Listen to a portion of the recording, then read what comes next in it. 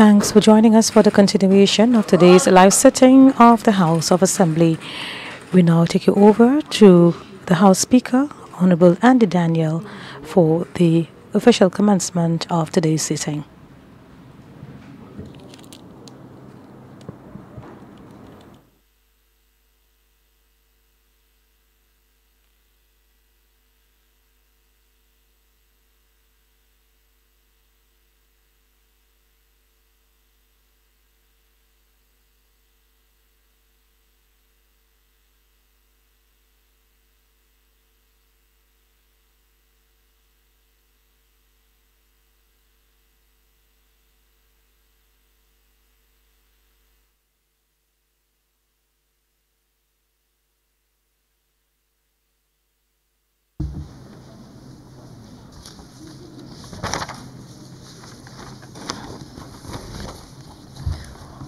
I beg to remind honorable members that when the House last ro- rose, the motion in debate was that Parliament authorized the Minister of Finance to borrow US 16,192,000 from the Caribbean Development Bank for the purpose of financing the St. Lucia Education Quality Improvement Project. And be it further resolved that A, in case of the special funds resources portion, one, the loan is repayable in 80 equal and approximately equal and consecutive quarterly installments on each due date of the first day of January, the first day of April, the first day of July, and the first day of October of each year, commencing on the first due date after the expiration of five years following the date of the loan agreement or on such later due date as the bank may specify in writing. And two, the interest is payable at a rate of 2.5% per annum withdrawn and outstanding on the amount of the special funds resources portion. B. In case of the ordinary capital resources portion, 1. The loan is repayable in 48 equal or approximately equal and consecutive quarterly installments on each due date of the first day of January, the first day of April, the first day of July, and the first day of October of each year, commencing on the first due date after the expiration of five years following the date of the loan agreement or on such later due date as the Caribbean Development Bank may specify in writing. Two, the interest is payable at a rate of 2.97% per annum, withdrawn and outstanding on the amount of the ordinary capital resources portion, and three, a commitment charge at a rate of 1% per annum is payable quarterly on the amount of the ordinary capital resources portion unwithdrawn and which accrues from the 60th day following the date of the loan agreement. Honorable Member for Vieux South. Thank you very much, Mr. Speaker. Mr. Speaker, although I missed uh, part of the, the earlier part of the debate on this motion before the House this morning, or and this afternoon rather, I understand that my colleagues have rehearsed the history and have given some indication of how this loan um, came about. And from what I've gathered, no one on this side of the House have spoken against this loan in any significant or material way. There is, of course, understandably disagreement as to how the loan should be utilized and for what purposes and for what. But um, that apart, there is no major um, disagreement in principle or otherwise to the procurement by the government of St. Lucia for this loan because the negotiations commenced with the former government and in fact it emerged out of some, some degree of agreement with the former government. That being said, uh, Mr. Speaker, there will always be issues of disappointment. And for me, I think um, one disappointment has to do with the fact that in this early stage of the loan and given the closure of the B program, the eminent um, closure of that program, it has run its course, that the opportunity was not taken to invest very early in the Dunnottar School to build a new school for the students of Dunnottar. I think that is a very, very, very real disappointment because I think we really need to come to terms in our parliament and in the country as a whole with the way we handle and treat disabled children in our community and the issues regarding disabled or challenged children as a whole. And when I go back um, into the administration of education in St. Lucia, I think it is it's fair to say that policymakers have had emotional and sometimes intellectual difficulty in terms of deciding what to do with our challenged students and what degree of investment we should put in them. And I'm not at this stage blaming any administration, although I have a profound disappointment that the allocation to disabled families was reduced so significantly as occurred. I think that's a travesty because really that um, grant should have been doubled. But that's another issue. There, there are so many issues regarding how we handle such children. And I repeat that there's been a lot of restlessness. I don't think we ourselves have been as sure as we should be about what are the policy positions to take and how to approach the problems that exist with disabled or challenged students. The former minister, Dr. Robert Lewis, did a correct thing on the initiative of the Caribbean Development Bank at the time, and as you heard from my colleagues, to visit Barbados to look at the Barbadian school plant because they have invested heavily in um, education for challenged students, disabled students over time. And coming out of this is the report that reference was made to this, this, this morning. And there, there are really so many issues regarding disabled children that um, I think it would take far more than a loan of this magnitude to resolve those particular kinds of, of issues. Mr. Chairman, Mr. Speaker, the, the fact of the matter is that there are so many practices occurring in our education system that are wrong. I mean, quite often than not, we do not regard teachers of disabled children as professionals in their own right, possessing certain kinds of, of skills. Instead, sometimes we believe that even within the school system, you give teachers deliberately to teach children who are challenged, who have difficulties, for the very simple reason that they figure, that the, the administration of these schools figure that um, it will make less demands on the, very, on the various teachers, it wouldn't be difficult, etc. Of course, that's patently false because there, there are very rare challenges that occur from, from time to time. But despite all the training over the years, we do not have a ready pool of talent that is available. There has been some training in the past, but simply not enough. But there's a new phenomena developing within the school system. And uh, that is a phenomenon that I want to spend a few moments on addressing. That is to say, that the school system is now being challenged by students who, or by children who do not necessarily fall on the side of the challenged or disabled, but who have major behavioral problems. And the school system is at a quandary as to what to do with these children. And while for me, I am limited by what I can say on this matter, because I, I represent parents, one particular parent in one case, so I'll be cautious and careful. But it points to a deeper problem. That, for example, if these students emerge as having behavioral problems, you get referrals being made to the wellness center, that these students are being asked to go to the wellness center for evaluation.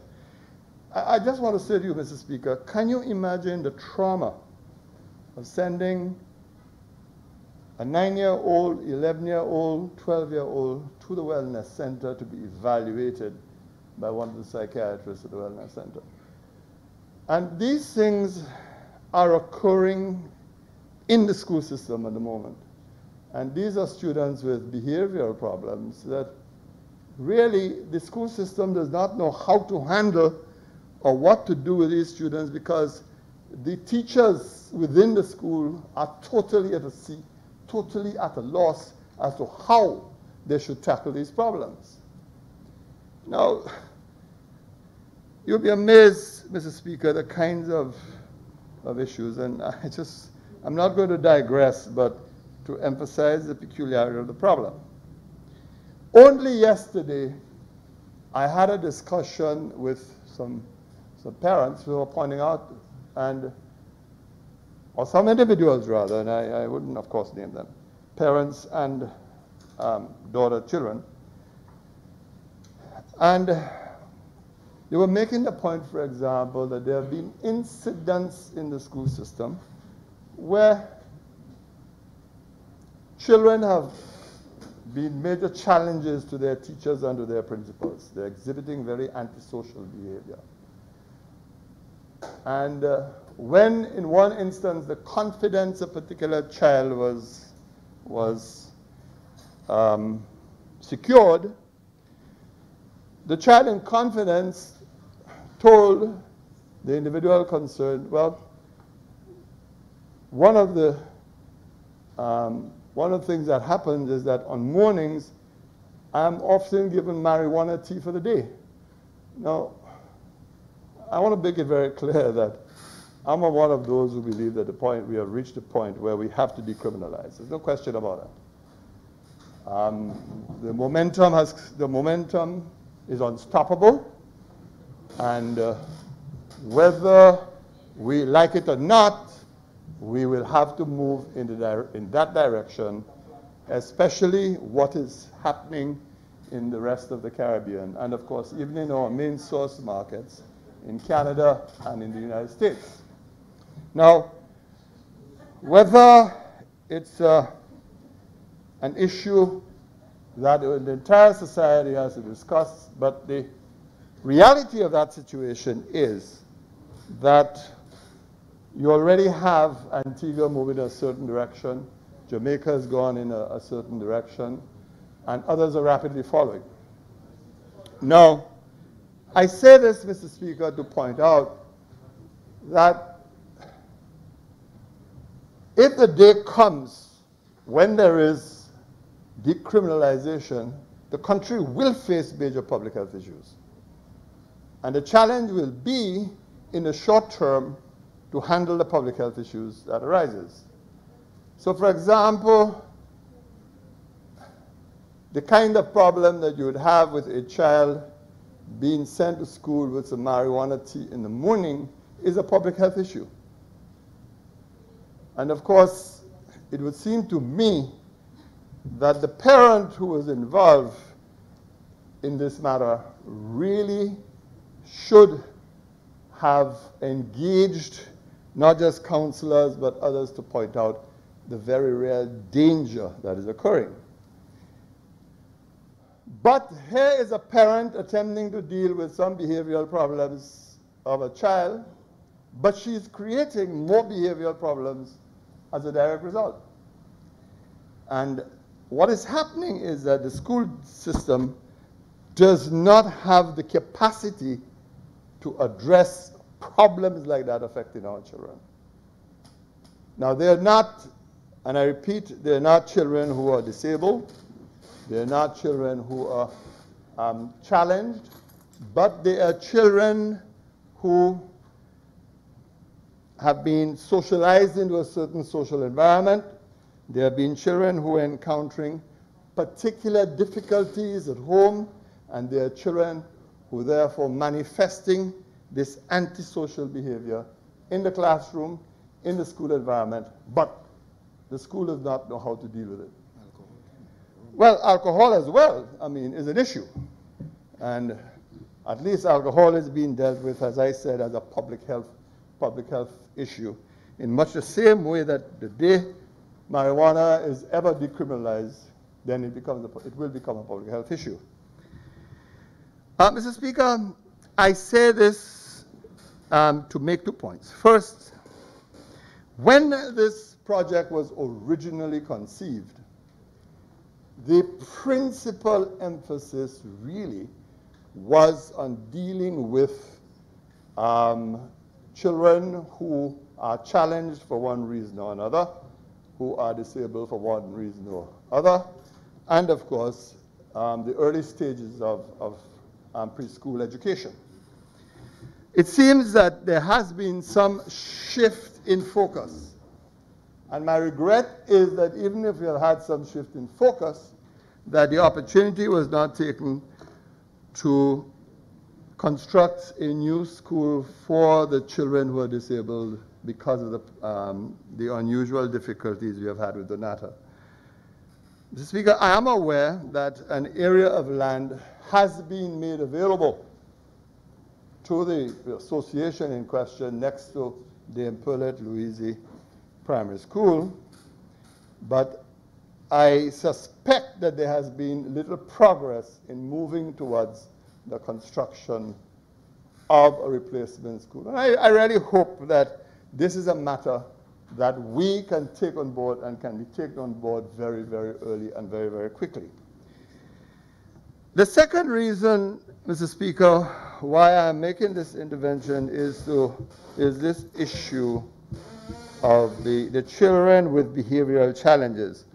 And the report out of Barbados, prepared by the former minister staff, did make the observation, which I think is eminently sensible, that in Barbados, the government has developed particularly particular centers um, throughout the island in key, um, in key positions, and they staff those centers with counselors. They staff them with um, doctors and social workers, of course, as well as, as teachers. But what happens is that once the child has been identified as a child with a behavioral problem or behavioral disorder, the child is then sent to those centers for guidance and for instruction and hopefully reintegration in the school system. I think this is really a very sensible approach. And while I hear the, just in time to hear the um, member for Micoud North um, enunciate and elucidate on some of the um, interventions that will occur, which of course includes policy formulation, etc. Et I hope that this is one suggestion that can be actively pursued, especially in the urban center in the north, because it cannot ever, ever be right for children with behavioral problems to be sent to the mental wellness center for evaluation. Likewise, Mr. Speaker, you ask, do we have any clinical psychologists who look after children? Do we have any child psychologists? And the answer is that they are exceedingly difficult and rare and cannot be easily found. So most parents then, what they do is to try and get hold of counselors for some guidance and for some advice, with the result that that can only be a partial solution, if only for the very simple reason that behavioral problems of children are so very complex and so very difficult that a special kind of expertise is needed to deal with it. Now, whether the approach by the government has amputated the options here um, is, of course, a point for reflection, because my understanding was and is that the former government had, in fact, um, asked the CDB for a more substantial sum of money for this program. But the current government, in its wisdom, decided to reduce the amount that was requested, and uh, while reducing the amount that is requested, identified other priorities within, of course, the existing loan program. I just hope that along the way we can rethink this somewhat, and even if you're going to eventually get a consultant to give you some policy options and policy priorities, that we begin to move on to some of these existing problems that we have. Because it is these experiences that are making the lives of teachers and principals and even parents unbearable. Because there are parents out there who simply do not know what to do. And they believe that once they encounter these problems, then the solution is simply um, either, as I said, go to the wellness center, get a, somebody to evaluate, or refer the children to the police who are perhaps even more ill-equipped to handle the difficulties that we have. But I am deeply concerned, Mr. Speaker, about the rising incidence of antisocial behavior within the school system and, of course, the um, inability of the system to deal with those issues.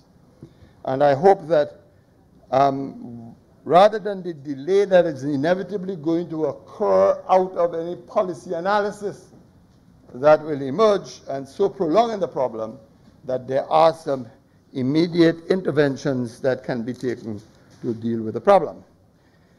I am aware, Mr. Speaker, that under the original proposal, a sum of money was supposed to have been made available to repair the Center for Disabled Children in Vieux Of course, I am not going to comment um,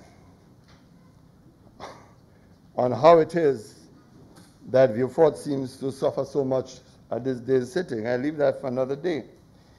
But that being said, I hope the Minister of Education might have taken the opportunity to perhaps even give some comfort to the parents of the Beanfield Secondary School, because I know my colleague to my left has spoken on the challenges facing the parents of the Beanfield Secondary School who have been told that despite the fact that choices, that the parents made choices for the Beanfield Secondary School, they must now um, withdraw these choices and make new choices to other schools in the area that they would be assigned to. The parents have, of course, flatly refused to do so. And they have indicated that they will not pursue that approach. May I suggest, Mr. Speaker, that this situation should not be allowed to get out of control. And what the parents really want is a meeting with the minister to discuss the issue and resolve the issue because there are solutions to that problem. That does not necessarily involve the transfer of the children to other schools in the South, thereby increasing the cost of education for those parents. And the parents, of course, are adamant too because the Beanfield Secondary School has also emerged now as a school of tremendous credibility, I would say, after just a few years, that the percentage cutoff for entry into the school is in fact in the 60s, just below the Vieux Senior Comprehensive Secondary School. So I would hope that the minister will ask for a meeting with the parents as the parents have been asking to resolve this issue. They are quite right that the policy implications of the ministry's or the department's decision cannot be settled with junior officials of the Ministry of Education. And if I can offer the minister any comfort, I will not be at the meeting. You may come down, I will not be at your meeting. So, um, but I hope you can find it within yourself to make sure that you come down to the school, meet the parents, and have a frank and open discussion to resolve this matter. Because if that does not happen, I think that would create unnecessary conflict and tension within the school that can easily be avoided and resolved. That having been said, Mr. Speaker, um, despite the fact that we now have a truncated program, I certainly welcome the investment in this sector. I'm sorry that the, the full value of the allocation to the students of the disabled community, the challenged students, are not reflected in the existing plans. And I think that's really very sad. But I hope that other initiatives can at least proceed in the planning process rather than wait for any policy output from consultants appointed by the Caribbean Development Bank. Thank you, Mr. Speaker.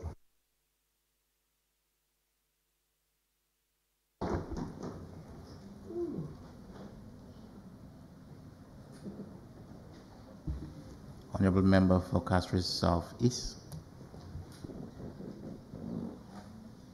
Thank you, Mr. Speaker. This is a very interesting debate taking place on the issue of education and what is happening to our school plan and our school facilities. The requirements of this loan in order to help improve school plant on the island. Mr. Speaker, I would assume that if we would spend the entire budget, we would still not be able to meet all of the needs of the education system at this point in time. And I need to emphasize a couple of points on this as we go forward. Over the years, we've been putting patches on the problems that we are seeing. We have not had a holistic approach towards our planning, our developing, our organizing. And I heard quite a bit of criticism coming to the Prime Minister by the member for Vieux Fort North, indicating that misguided, it was a misguided concept that your curriculum should influence the type of building or the type of school plan that we should have. Mr. Speaker,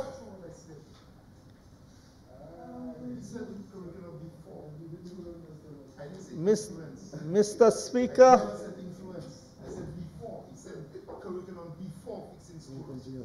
Mr. Speaker, I see members on the other side are very edgy about everything that is said. But I will, I will focus on what is before us today. They have other times to talk to what you are talking about there.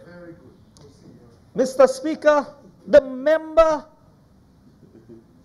was emphasizing that now the Prime Minister is coming out here and speak about loan for the EQUIP project and whatever. And just the other day he was speaking about um, curriculum must be developed. What is far from the truth in terms of what the member said? And that's why Hansard maybe should be replayed, or there should be a replay of what members say in this honorable house. Because some people take liberty to mislead this honorable house, and they always deny they never said that. And when you go back, you see exactly what was said.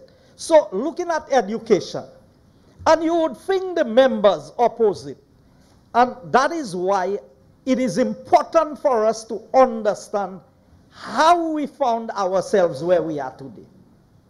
Of the last 20 years, the Labour Party administration would have governed this country for 15 of those 20 years.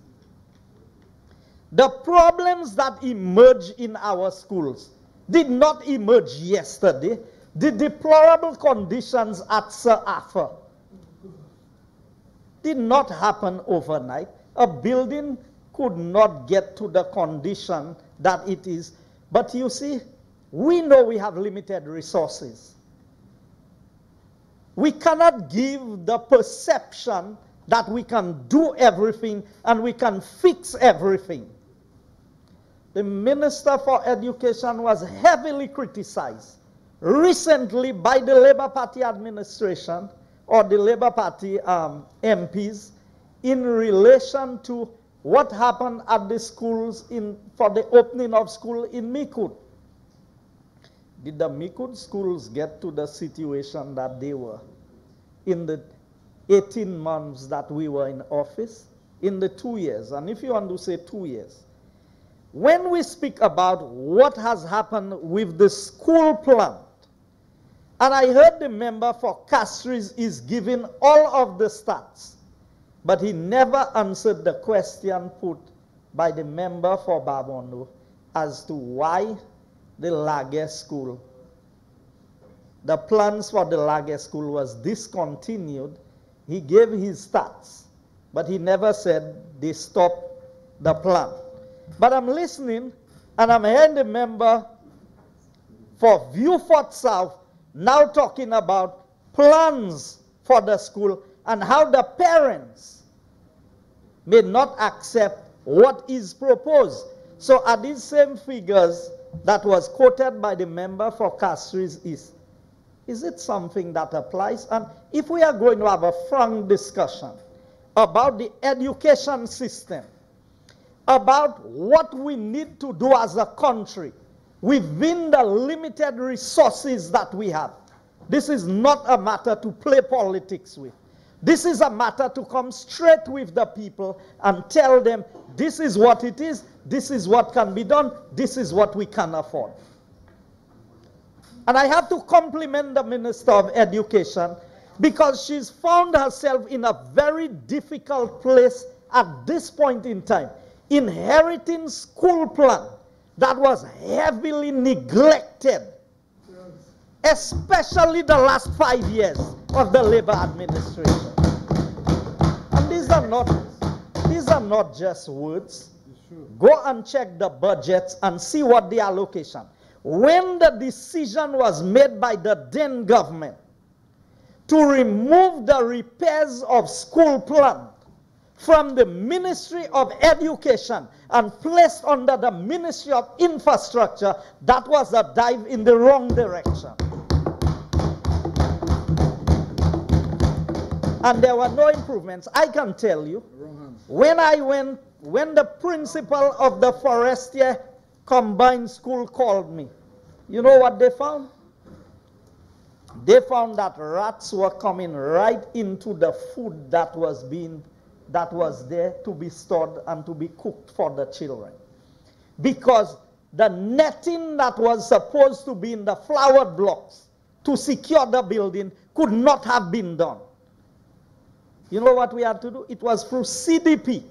We were able to secure that environment, knowing the problems that you've had with leptospirosis and, and the spread of diseases through these rodents. So so, Mr. Speaker, these things are not new. I heard the member for Vieux Fort North talk about the legacy or, or the history of the Labour Party with education. And we've heard all the boast about universal secondary education was accomplished under them. But they never gave credit to all the secondary schools that was built between 1964 and 1997. Where's the record for that? Because at the end of the day, Mr. Speaker, education should not be about who did what. All governments have contributed in a meaningful way to education. But we have a problem, Mr. Speaker. And the problem is when we were making when the then government made projections for universal secondary education, and I will tell you, Mr. Speaker, when people have no vision, you cannot expect better from them. So, what were the stats showing? You pass an abortion bill, which means that the likely result is a reduction in the number of children that would be born. Then, then, Mr. Speaker, there is a complaint. There is a complaint that the number of students in schools are on the decline. now, now, there are a number of factors that can contribute to the reduction. So, what does an abortion bill do? They're still lying about that. They're still lying about that. Can you believe it? My goodness. Mr. Speaker, I am. I'll let the member for Central Castries answer you on that. they're already on this side. There's no need for that. Mr. Speaker, no Mr. Speaker,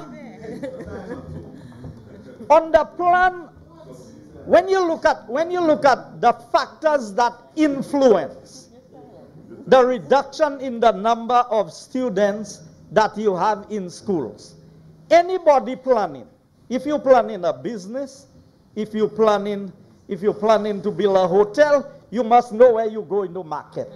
You must know what the market is going to be. And in doing so, Mr. Speaker, you would know if you need to build a 10 room or a 20 room. We have the lowest fertility Hotel. in Latin America and the Caribbean. If you're going to plan any business, any business you go into plan, Mr. Speaker, you need to do it in a manner where you know what your projections are for five years, for 10 years, for 15 years, for 20 years. So I want to ask, all of these additional space that we have in the schools today, did the then planners who are sitting on the opposite side there, did they have these plans in projection?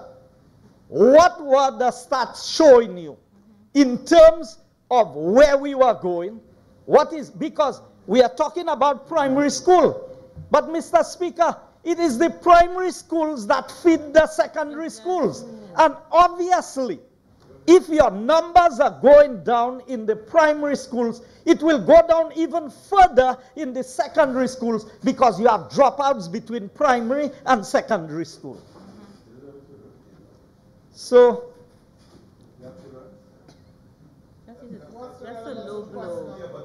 Mr. Speaker.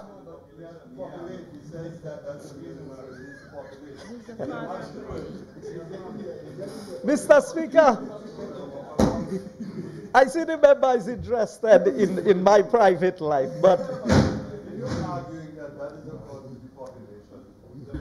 the Honorable- number y'all have given me on Honorable Facebook, Member for Castries. South East, Huh? why allowing yourself to be distracted? I'm not distracted, Mr. Speaker. Thank you. Okay. Mr. Speaker, they know how many they've given me on Facebook already. So, so Mr. Speaker, going back to the core, because you see, when one government makes a bad decision, whether it be a UWP government or an SLP government, there's a trickle down effect on the country for years and years to come. So, the fact of the matter is, we built new schools, and then we don't have students to put into the schools. But we know our people, we understand them. That's what they're accustomed to. There's a school 500 yards from my home. How dare you tell me my child cannot go to that school anymore, but they must go to a school that is one mile away? That's the reality of our people. But as politicians and as policymakers, are we going to be honest with the people and tell them that if we consolidate, if we do what we have to do, we can offer better quality at a higher standard for the same price than if we were to spread ourselves too thin? So, the fact of the matter is, if I had, I can tell you, when I went to the Forestiere school, there was over 150 students there. Now the, the numbers are down to about 80 students. If I have to go and tell the people we need to close the school in Forestiere and merge it with another school, is problems for me as a politician.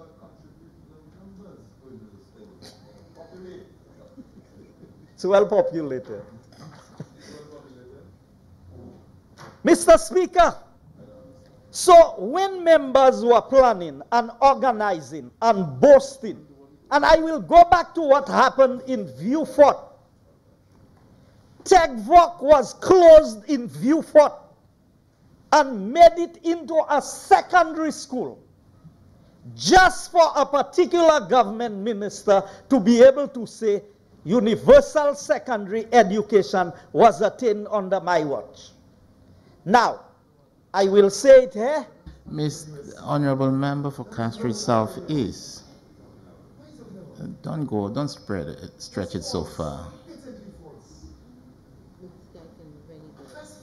You, you im, imputing at this present time in my, in my mind some motives that may not have been in the mind of any member. Just avoid that. Mr. Speaker. Mr. Speaker. I can substantiate what I'm saying. And if you're going to say that, then I'll ask you to do it right now. But if you're not going to do it now, then I'm asking you to refrain from it. Mr. Speaker, I'll move on. But, no, I know what I'm saying. But, Mr. Speaker, I'm guided by you on this. A number of schools were built now, all of the schools are underpopulated. The government has the burden to repair all of these schools. The government has the burden to repair all of these schools, to maintain all of the school plan, to maintain the employment of all of the teachers, and at the same time, we have to meet the needs of a changing sector. And so that is the problem that we have there. You could not finish St. Jude's. You could not finish it. You know, Mr. Speaker, I'll continue on what I'm saying. If they want to have a debate on St. Jude's, I'll come on it. You never went to St. Jude's for the five years you were in government, so don't talk.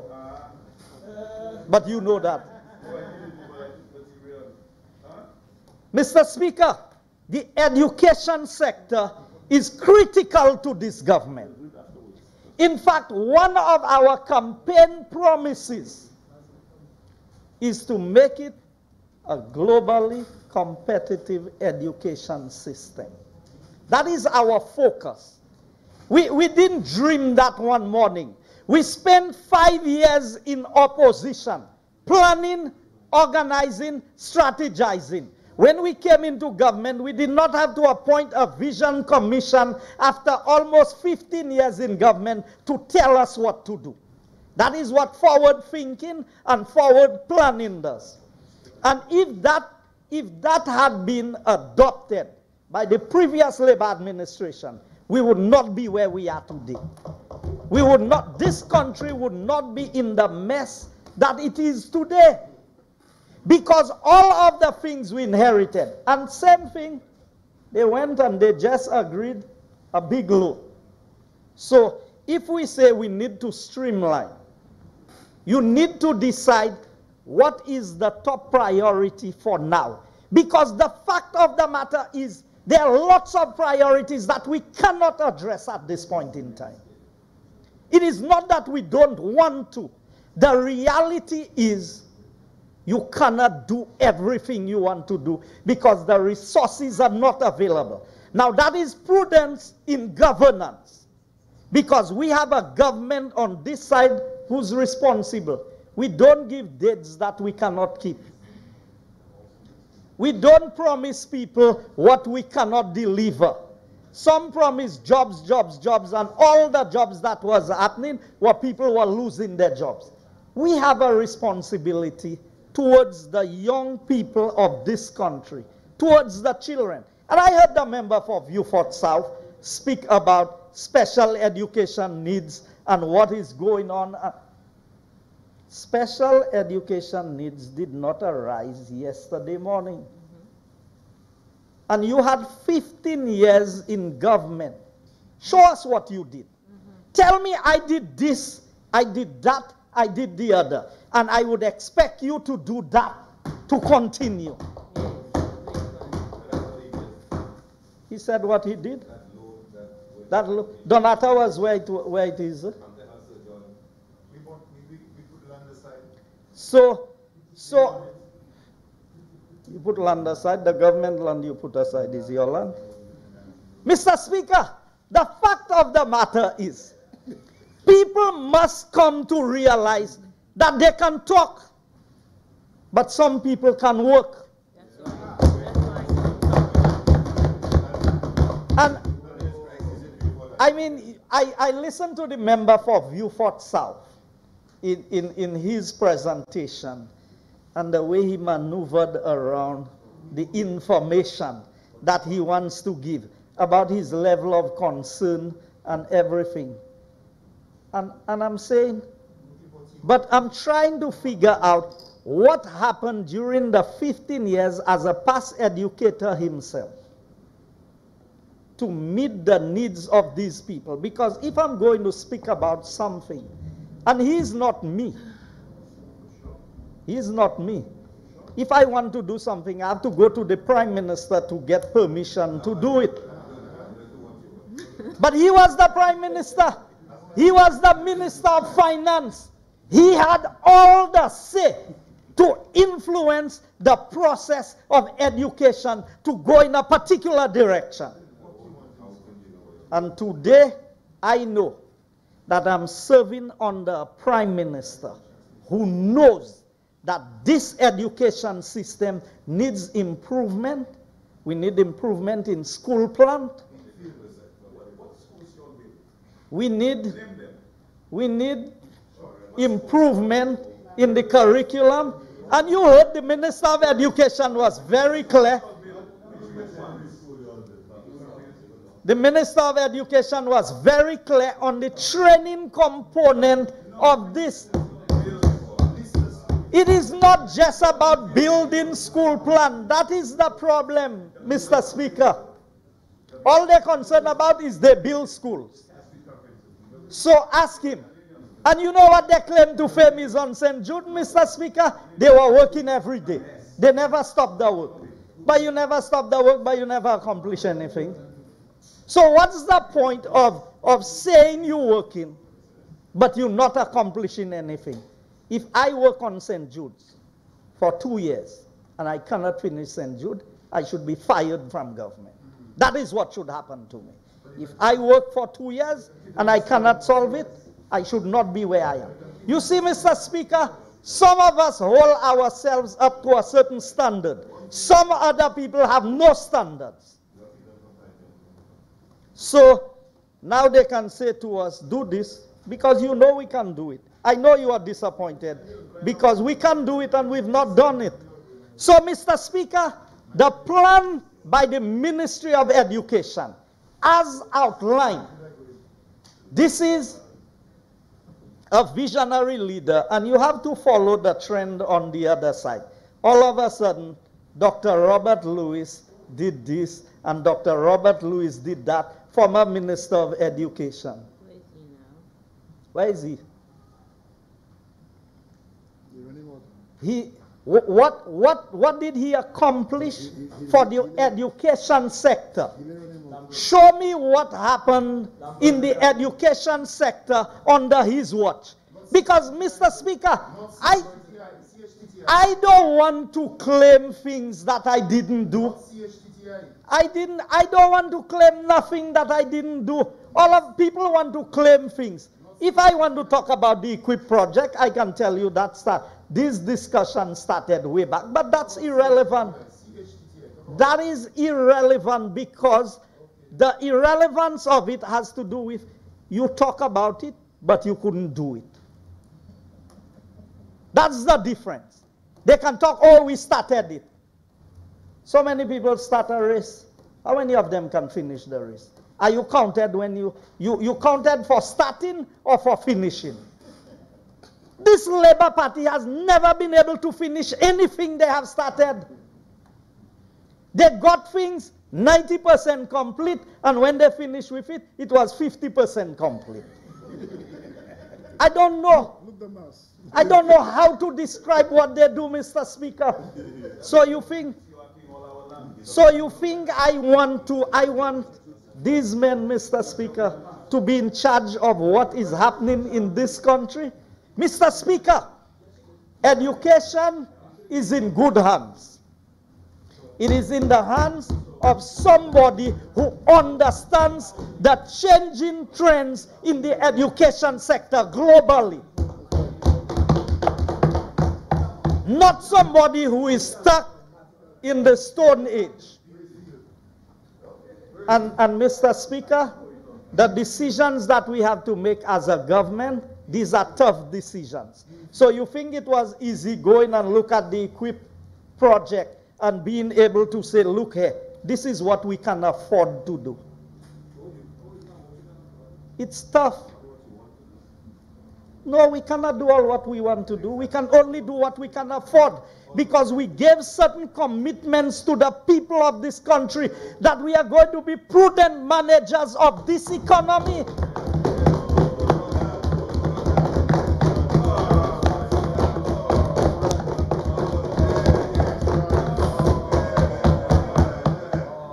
You see, you see, Mr. Speaker.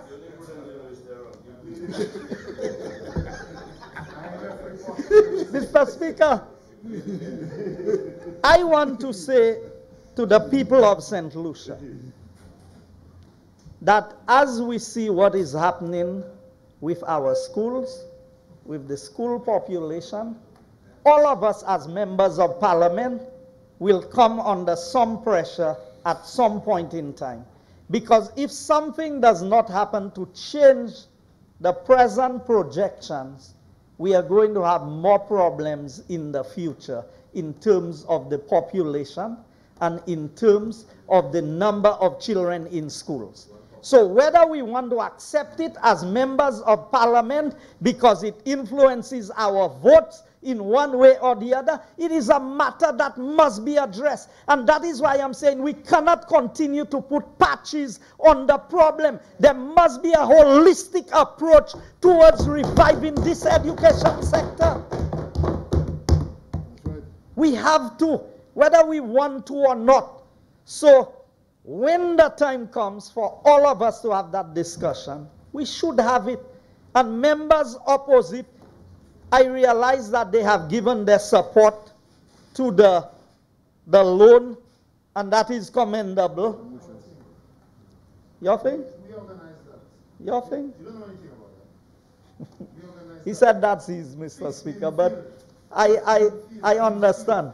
The, cow, the cows were not his, but the school is his. He was Minister of Agriculture. He don't know about the cows, but he know about the schools. He was not Minister of Education. That's right. Bexon. Mr. Speaker, I want to assure the people that some people can talk and some people can work. And I am convinced that the direction that we are going as a government, as an education, especially in the education sector, this is one of the pillars on which we were elected. It is in our manifesto. It is in the mission, vision, and values of the United Workers' Party. And all those who making noise on the other side there. Ask them under which government they were educated. Ask all of them sitting on the other side there. Under which government they were educated. They were educated under the government of the United Workers' Party. And, and, and you know, I'd even forgotten that, but a good thing you remind me. After, during adult suffrage, from 1951 to 1964. 19, well, but that's the point. But you see, it is how you can interpret the history that you read. If, if the late Sir George Charles was the one in government between 1951 and 1964, because the UWP was not born before 1964. So who was supposed to build a secondary school in the early 60s? You, you know, Mr. Speaker, because some people come to this honorable house and they figure out that people are not knowledgeable about certain things and they talk about they talk about we don't know what the truth is so after adult during the period after adult suffrage 1951 to 1964 who was in charge of the affairs of this country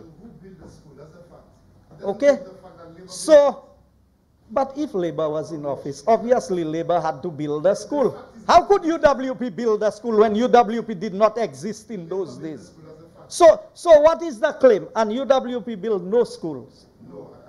Castries Comprehensive School was not built. Leon Hess Secondary was not built. Entrepot Secondary was not built. They just Corinth Secondary. All these schools fell from the sky all these schools fell from the sky, Mr. Speaker, and they landed here. Nobody built them. Nobody built schools other than the Labour Party. So Labour Party was in office for two years between 1964 and 1997, two and a half years. So I would assume that every school that is in St. Lucia was built between 1970, from 1964 to 1997. Every school that was built in St. Lucia was built in the two and a half years of the worst, most chaotic period in governance in St. Lucia. So, Mr. Speaker, when members opposite want to mislead the people of this country and make them believe that everything that exists existed through them, you know what? When you can claim what is not yours, Mr. Speaker, you can do anything. When you can take credit for things you did not do, it tells me the quality of the persons that we are talking about. Don't let my MBA bother you. No. Your PhD don't bother me. Because if I had to have a PhD, I'd be like you. I'd rather have a no HD. Honorable member, stay focused. Thank you, Mr. Speaker. Mr. Speaker, Mr. Speaker, I want to say to honorable members and to the people of St. Lucia, we are focused and we are going to deliver on the promises that we made in our manifesto to bring world-class education to St. Lucia. We are on the path to doing so. St. Lucia is a renowned place for bright people. Yes, they have bright people, but they have some that just don't shine. so maybe he falls in the category of those who don't shine. But we are known for producing bright people. And I am proud to stand in this honorable house. Mr. Speaker, there are opportunities for all. Some people believe, Mr. Speaker, because they got opportunities and they attain that nobody else has entitlement to this. But I stand here as an example to other young people who are marginalized, who was challenged, who had difficulties to rise to a certain level. Mm-hmm. And even today, I stand in this honorable house, and they always take swipes at me, Mr. Speaker. They, they always take swipes at me. I cannot read, I cannot see, I cannot do this, I cannot do that. You, have heard them um, who did the courses for me. But, but that is what it comes to. But you don't question their qualifications and their credibility, but I can question their performance because I can see they are non performers. And so, Mr. Speaker, if we're speaking about education, if I could attain, every young St. Lucian has an opportunity to attain. Okay? And we must never allow people to stand in our way of meeting what we are set to achieve in life. And so I believe in education. I believe in education more than what I say. You know why? Because I can challenge anybody on the opposite side that I have invested more in education of my personal resources to help young people go to school and do all kinds of things. When y'all call me a bus driver, you know what? Most of the children traveled on my bus free of charge when they could not afford to pay to school. That's the difference. That's what y'all call me. But I've, I've been proud of who I have been. But education, education, oh, now is boasting. Honorable member, please remain focused and Mr. Speaker, I want to assure you that this government is going to deliver on the issue of education. And the, the project that is envisaged with the EQUIP project is just one step. That is not the solution. That is not going to resolve all of the problems that we have in the education system. But it is one step in the right direction. And this government has committed more money to be spent in the education sector than the Labour Party did during their terms in office. Go to the budget.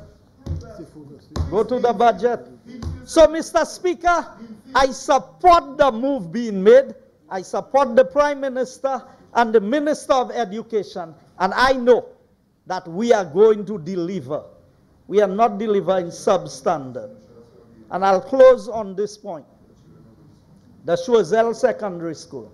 Ask them what we inherited when we came in here. Ask them how many years there was a report saying that this school was not fit to be used for educating children because of the risk factors involved. For how many years they were in government? Were they able to resolve the problem? They were not able to resolve the problem. We had negotiated the loan. They want to talk about loan negotiations. We had negotiated funding from the World Bank for this when we left office in 2011. They spent five years in office. Five years. Just like St. Jude's and all other projects. They could not even get the project started. It had to take a UWP government to come back into office and to start, and we are on, on target to complete the Choiseul Secondary School, the two blocks. So, Mr. Speaker, Mr. Speaker, these are the facts. Ask them who started the Choiseul Secondary School.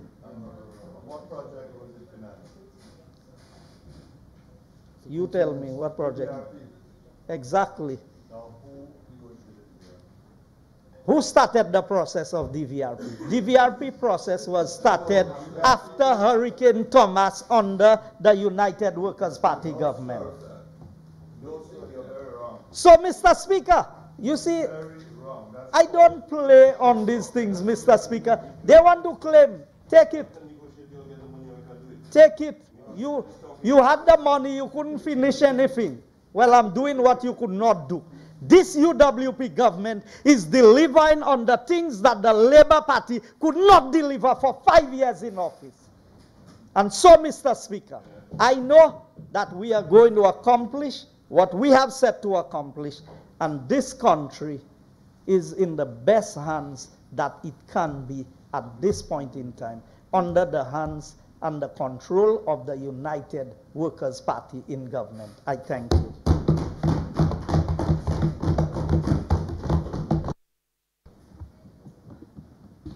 Member for Laborie. Thank you very much, Mr. Speaker. Mr. Speaker, I rise to add my voice to the debate on the motion to borrow $16,192,000 US from the Caribbean Development Bank for the purpose of financing the St. Lucia Education Quality Improvement Project. Because, Mr. Speaker, education is one of the basic needs for human development and to escape poverty. Sir Arthur Lewis said it beautifully when he said that the cure for poverty is not money, but education. A view which has been reinforced by the late Bob Marley, who said, Some people are so poor, all they have is money. The late Bob Marley said that some people are so poor, all they have is money. So, Mr. Speaker, education is necessary for national development and for a prosperous society. Education allows workforces to be more efficient, it keeps inflation at bay, and it feeds economic growth. Government and society, therefore, have a vested interest in ensuring a constant flow of students in higher education. It is urgent to ensure good quality of higher education for society's own interest, Mr. Speaker. Seminal figures in the field of education and public policy have always argued that education is so important that you must deep into your national resources to ensure that you educate your people. Because that's the only way we are going to make strides as a nation. Russia mounted from the status of underdeveloped poor country to a superpower and developed country mainly on the wings of education. Japan owes its phenomenal growth as an industrial power to education. And there is no doubt in my mind, Mr. Speaker, that the Labour Party, whether in opposition or in government, will always be committed to quality education and quality healthcare. We have always made education and healthcare urgent priorities. And a casual glance at history will provide evidence to substantiate this claim. Mr. Speaker, I noted during our debate on the estimates as well as the appropriation bill, and for the sake of clarity, I want to, of course, revisit just a portion of what I said on the whole issue of education to find a ready compass in which to set my course. I noted on that occasion, Mr. Speaker, it is well recognized that a skilled workforce is a necessary incentive for attracting foreign direct investment and making St. Lucia more competitive. The skill endowments of the labor force are indispensable for learning, technology absorption, productivity, improvement, diversification, and overall competitiveness. Investors have also cited skill availability to be a critical factor in their investment decisions.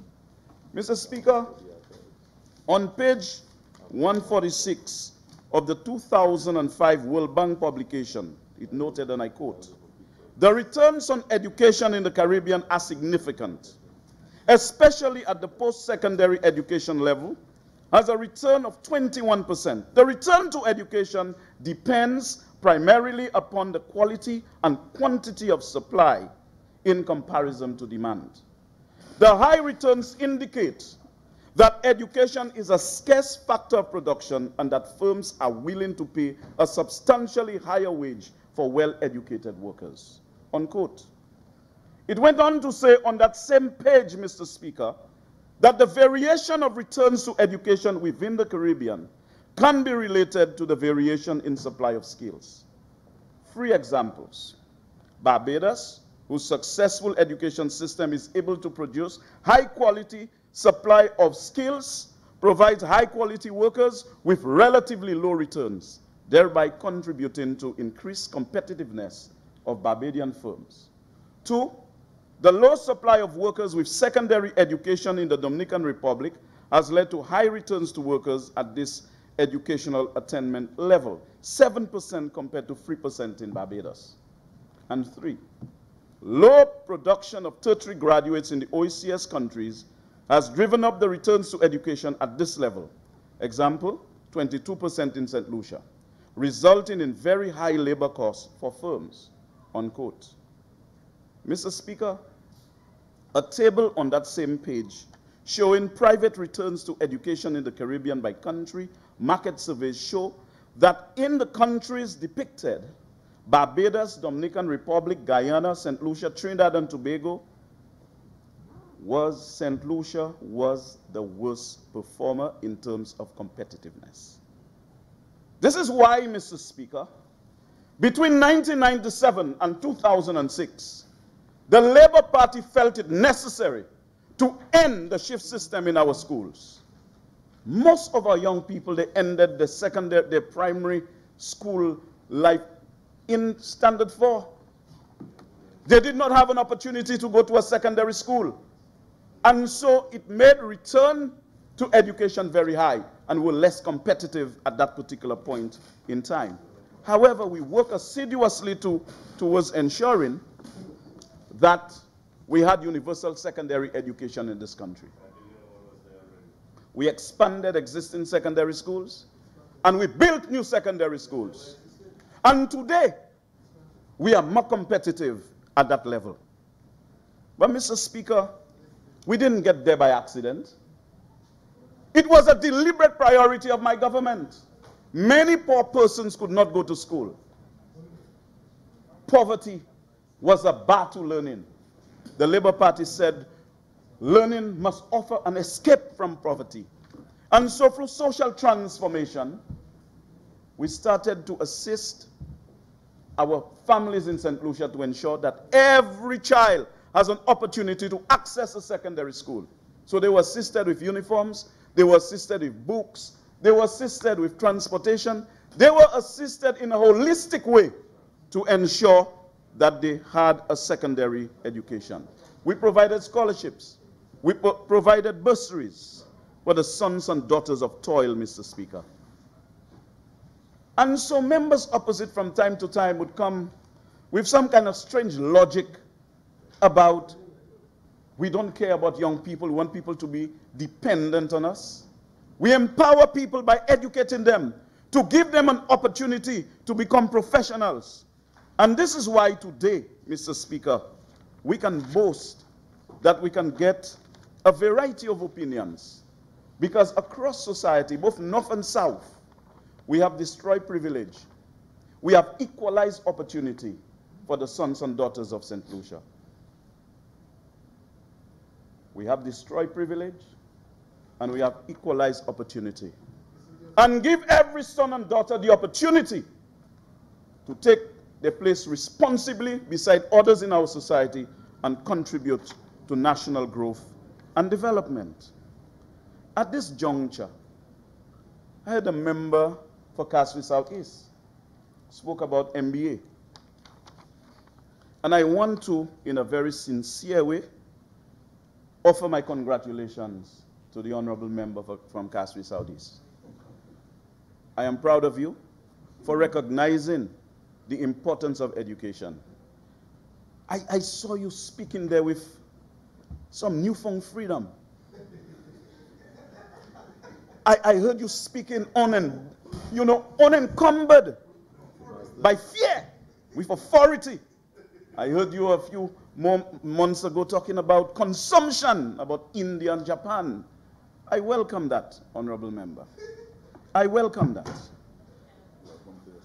Earlier on the announcements, what I, what I do not welcome, there's a book that I read about straight and crooked thinking. And the honorable member is skilled in the manipulation of falsehood and will take facts sometimes and, of course, from some kind of misleading linear progression. He shaped it into his own image and likeness on the announcements. He spoke about St. Jude's. And of course, yes, on the, on the statements by ministers. The member for Vieux Fort South raised a very significant point about public health. And all of that will have to contribute to the quality of education. Many persons are very concerned about the quality of education vis-a-vis -vis the quality of healthcare in our country. They go hand in hand. The health of the nation is the wealth of the nation. If you're not healthy, you cannot study in a way to achieve and to excel as you'd like to if you're healthy being. And therefore, St. Jude's cannot be a trivial matter. Now, May is reading month. Reading month. And I heard the member for Castries South East reading from a document during a statement, which was made a document of the House about the whole issue about St. Jude's. And I beg leave, Mr. Speaker, whilst I discuss the quality of education, to read from that same document. That very document, he stated, talk about the initial plans about St. Jude's, to have St. Jude's, the people return to the, to the burn structure.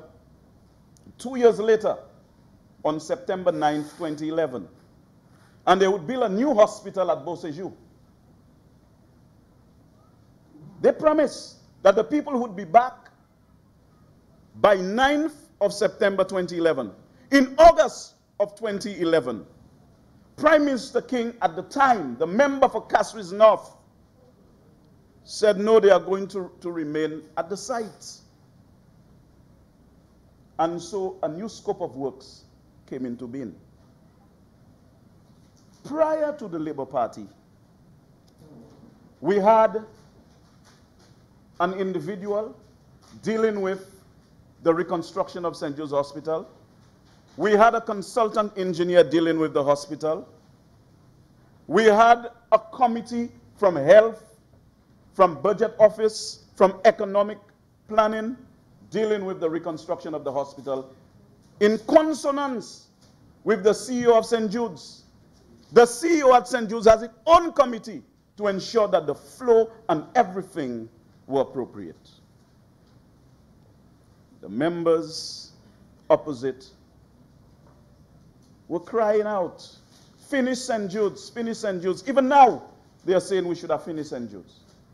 Now, by saying that we should have finished St. Jude's, inherent in that statement is a clear acknowledgement that St. Jude's needs to be finished. And I want to, of course, he went through a list of contracts.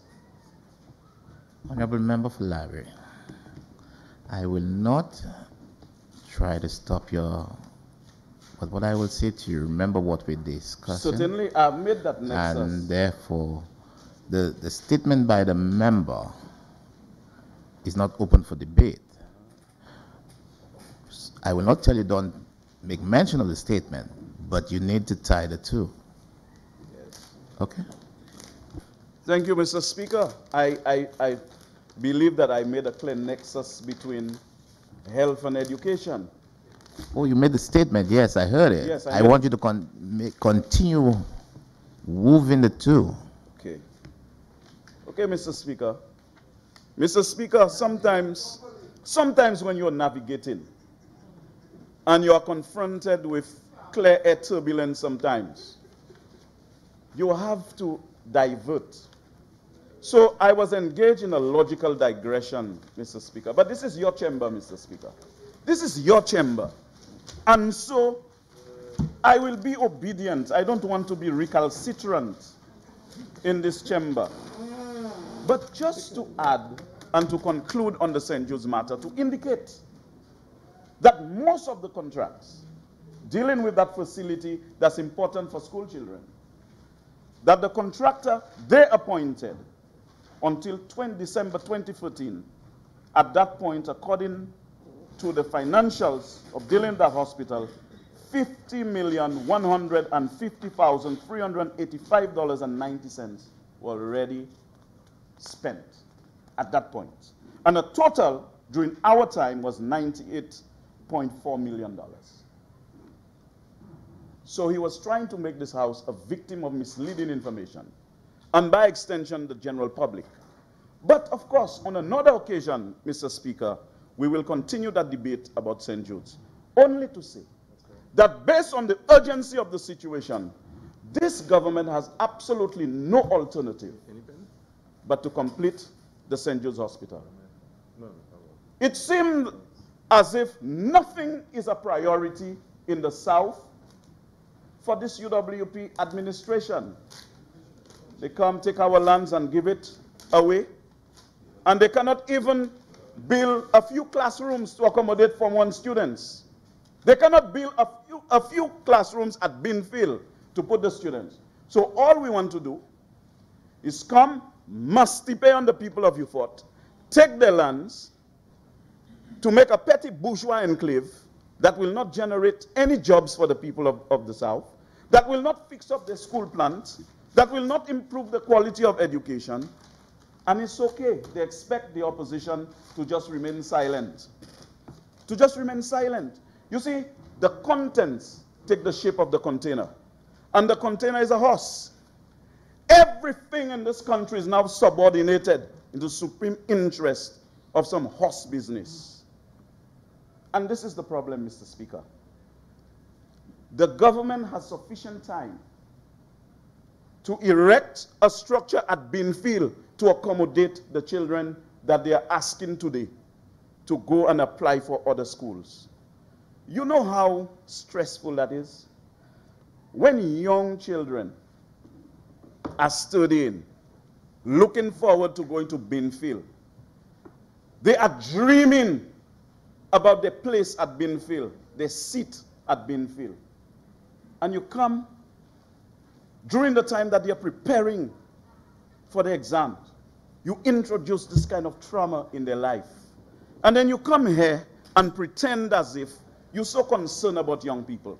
During our NYC days, we always said that education is a right, not a privilege. And the member for Castries South, who was an active participant in the process, could attest to the veracity of this declaration. We emerge out of the need to educate our young people so that they can provide leadership and take our country to a new plane of development. But we cannot take our country to a new plane if we are not serious about addressing the quality of education in our country. And you know what? The amazing thing is they laugh. They laugh.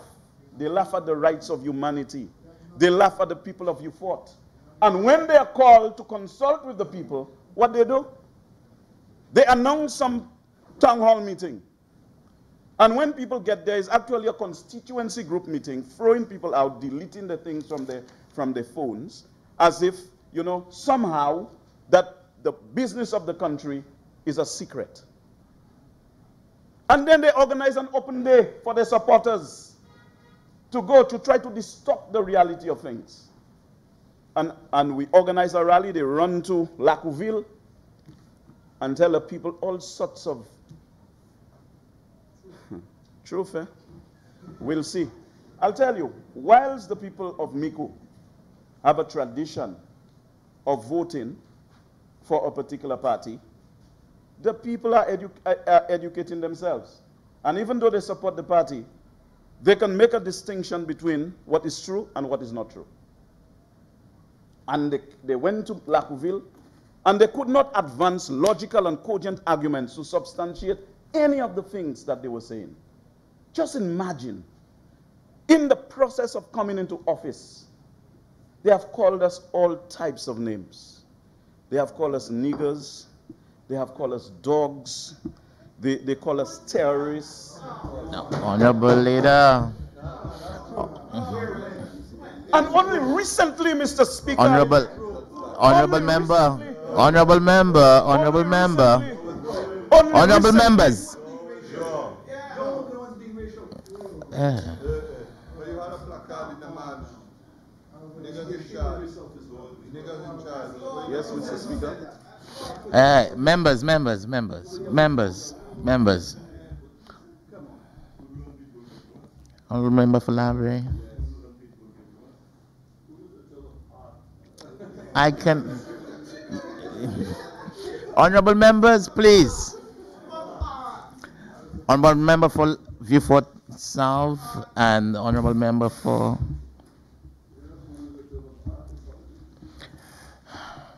Member for Laborie.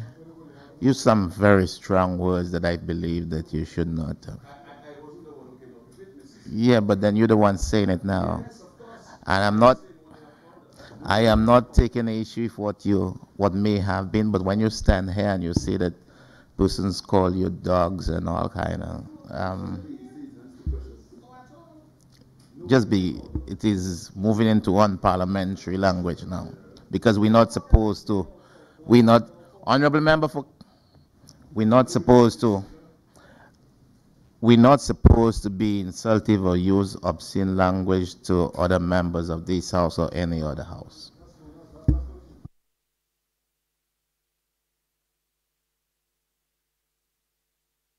One thing I will say. You have to speak to history.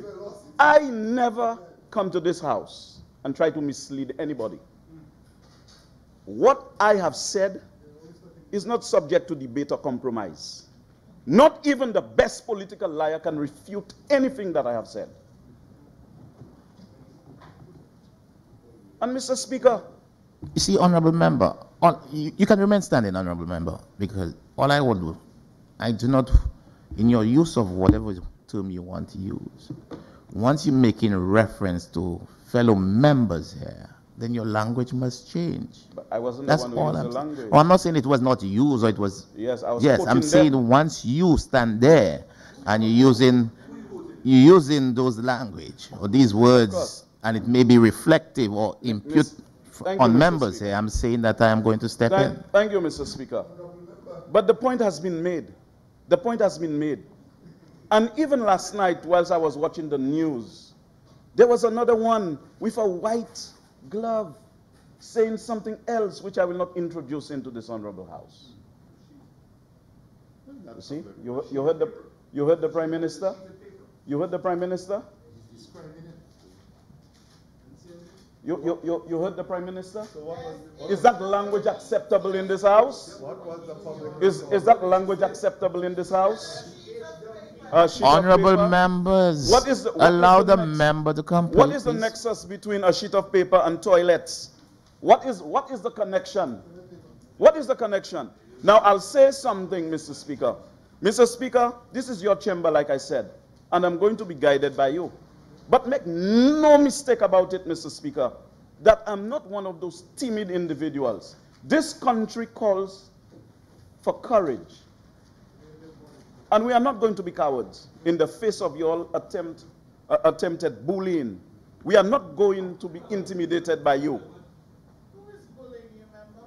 One, Mr. Speaker, Mr. Speaker, this government is not committed to no quality education and no quality healthcare in this country.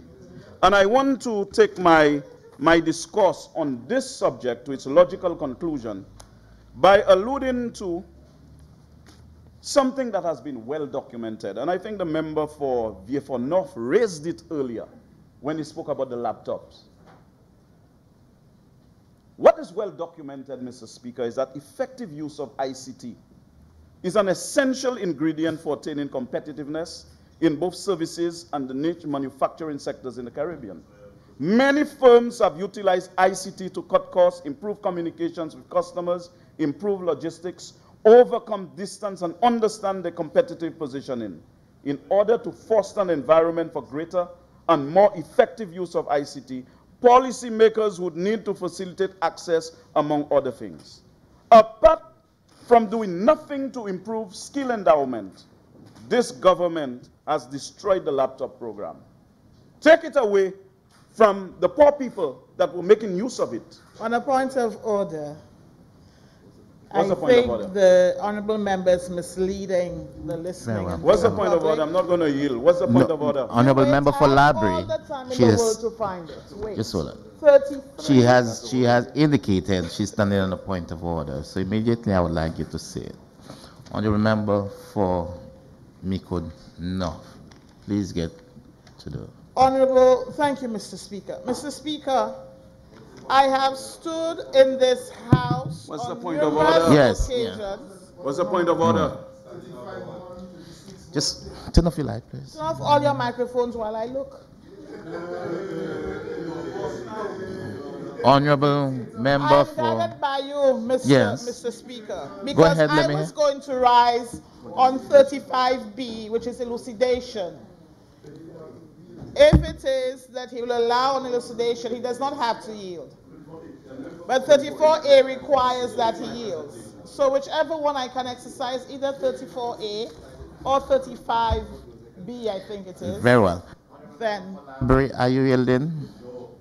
I am not yielding because I, I, I yielded to you, Mr. Speaker, who said that I know there was there, there, there is no point of order.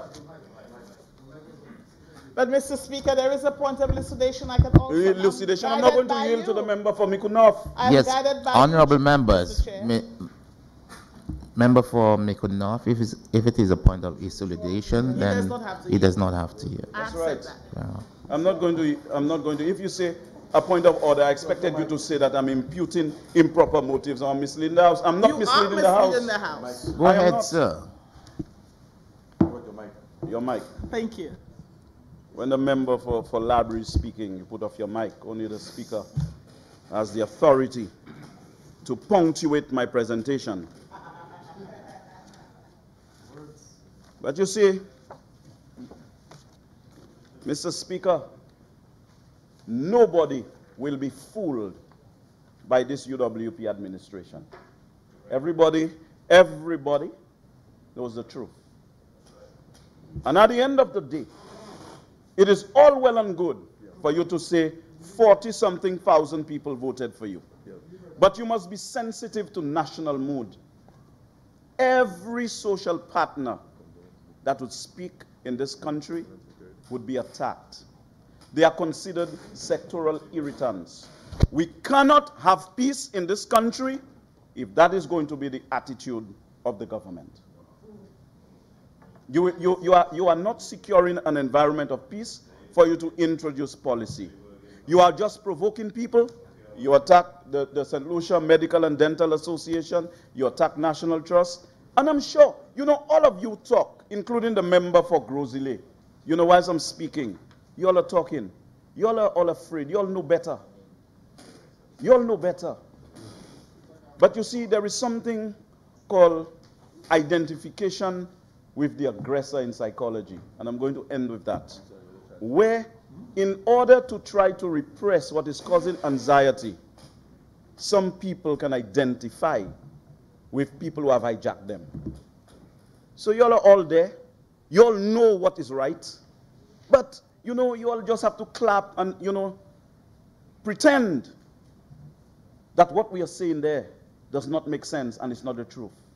But tato tato, tato tato, bola me pas loin. Bola me pas loin. This year, we are going to be midway very soon. And you'll have to account to the people of this country. No matter how big we think we are, no matter how powerful we think we are, in an instant, God will take charge. And I believe in God. That's why I fear no man.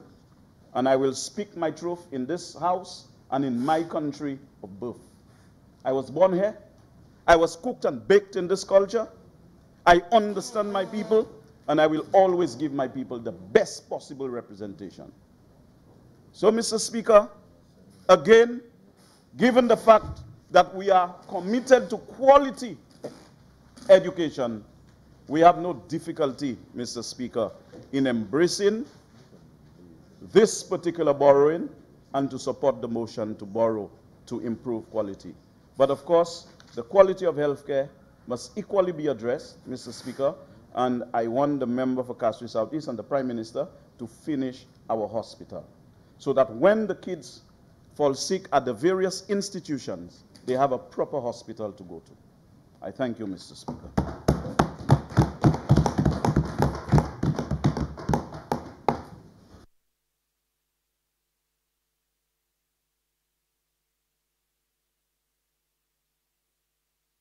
Honorable Prime Minister. Thank you very much, Mr. Speaker.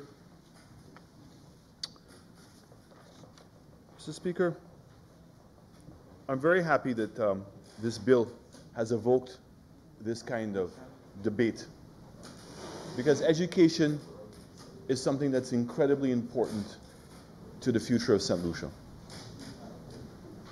And you know, a, we, can ask, we can ask ourselves, sorry? Yes? Is that okay? No, I mean. No, it's No, a, no, he introduced the finance. okay. But if it, if- am I, do you want me to sit back down, let somebody else want to speak? Okay. So, That's your mantra for the day. education is incredibly important, Mr. Speaker. I say education is very important because I think that in listening to debate on both sides, one of the things that's very, very clear is that we do not have an education system currently in St. Lucia that any of us have confidence in that's going to take us to the next level. Really. Okay. So the other side, Madam Speak, Mr. Speaker, is saying, no, no, is saying, is saying, I want to take the opposite then. Are you saying that, in fact, the education system in St. Lucia is working fine? Proceed, PM. So I would, I, I would, I would, I would then rephrase, Mr. Speaker, what I said. Both sides agree that our education system, currently in its state, okay, needs improvement in order to be able to deliver to the people of St. Lucia what it needs to be. Okay? And to date, it has not done so. And the question becomes, Mr. Speaker, how do we do that? Education for the longest time has been the number one expenditure that we've had. In fact, this year, Mr. Speaker, if my memory serves me correct, I believe the number is about $182 million. We're spending less, but in, nine, in 2001 we spent 90 million. And in 2001, when we spent the 90 million, you had 40,000 students. Today you have 27,000 students. And the question becomes in, 19, in 2001, we were spending $2,700, $2,275 per child. Today we're spending $6,700 per child. Has the level of quality of education increased by threefold? Can we say that? Can we, can we honestly say, Mr. Speaker, that we've had a 300% improvement in the level of education? You know, Mr. Speaker, the, the, worst sin, the worst sin to have is when one cannot even be honest with themselves. When the government, when the former government was in office, and they started a new hotel, of which, of which, of which they have said that we have never acknowledged that they were the ones who started the hotel. And I want to say it again publicly. What I said at the opening ceremony that I want to acknowledge the work that the Labour Party did in bringing Royalton to St. Lucia. And I want to acknowledge how brave they were in doing some of the bold initiatives in order to make sure that that project came on. I said it. I said it. I said it on the opening of the ceremony the, of the ribbon cutting for the opening of the hotel. Okay? I've said it, but I didn't say that in the campaign. I said I supported the project. Okay? Now, can you not be honest with yourself and ask yourself the question why? Why would we have had 44, sorry, 25% unemployment and 44% unemployment amongst the youth? And why is it that the hotel brought in 50% of the workers from abroad? Why? You had to fly the people in, you had to put them up and pay higher salaries than you were paying in St. Lucia. Okay? Yes. And you can speak to the minister, of the former minister of labor. Okay? Why? And that is where we must be honest of ourselves and accept some of the feelings that we're having. So where are we going? How are we going to be able to change the education system? So when we came into government, Mr. Speaker, the other side is correct. The EQUIP project was ready to go and the total amount was about 30 million US dollars. In fact, there was 100 million US dollars worth of loans approved with CDB, which would have increased the debt stock of St. Lucia by 10%. And the million dollar question becomes, Mr. Speaker, that we had to ask ourselves and go through each one of those loans. So yesterday, in fact, we did the groundbreaking for the dam. And in fact, that, that money was going to be borrowed with a government guarantee. And we were able to negotiate with CDB to get them to accept just the tax. And they would get, be given a letter of comfort. And the same thing with education. When we looked at the education, if again my memory serves me correct, of the $30 million that was approved, $25 million was to fix up five schools. Five schools. And the question became after spending 30 million US dollars in education, did we believe that we were going to be significantly changing the education in St. Lucia? And that's why when we negotiated with CDB was to break the project down into two parts. And the first part was to be able to focus on a new plan for education, which includes a review of the curriculum. And that we said that we have no difficulties in spending money on maintenance of the schools. In fact, we have now borrowed money, $10 million, which is going to be spent this summer, on helping to fix up the basic needs of schools. But what we would not do is go and spend five to six million US dollars on a school, and we were only fixing an old school. And we have no idea what the new school of the future is going to look like because we don't know what the curriculum is going to look like. No, yeah, no problem. And it's not what he said. And that is not what I said. What did you say? So, Mr. Speaker, what we have to make sure is what is education going to look like? How are we going to be able to deliver to make sure that the education system is being able to provide a globally competitive education system for the people in our country? We also said that this idea that everybody has to go to tertiary level education because we see not enough kids going to tertiary level education. But when they come back, they're not getting jobs that they can afford to pay back the loans that they had. And in fact, many of them aren't coming back. So what we've seen, like in Switzerland, like in Germany, the apprenticeship programs and tech TechVox schools are a better way to go. Because when a child can now do a short-term course or a year course in improving his skills, the likelihood is that he can afford to pay back that loan. And he's going to be given a skill set which is immediately going to earn him a higher wage. Because the affordability of it is not just for us as a state, the affordability also comes for the people. Because I've met many families in which the parents have agreed to mortgage their home for the children to go to university. And the kids don't come back, and the bank now is knocking on the door. So we have a problem. And it's only if we are going to agree to face that problem that we're going to solve it. So when we talk about new curriculum, who doesn't believe we don't have to fix the new curriculum? The new method of measuring the quality of your education system today is critical thinking. In fact, it's replaced SAT test. And the country that continuously comes number one in the world in critical thinking is Finland, Mr. Speaker. And guess what? A novel approach that's not so novel. That in fact, in Finland, it's more difficult to become a teacher than it is to become a lawyer or a doctor. And that they're well paid. And so same, some of the same deficiencies that the member from Vieux-Fort South so rightfully pointed out.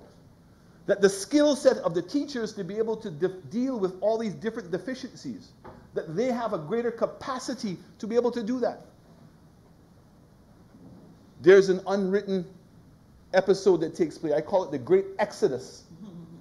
Every day at 2:30 during the week.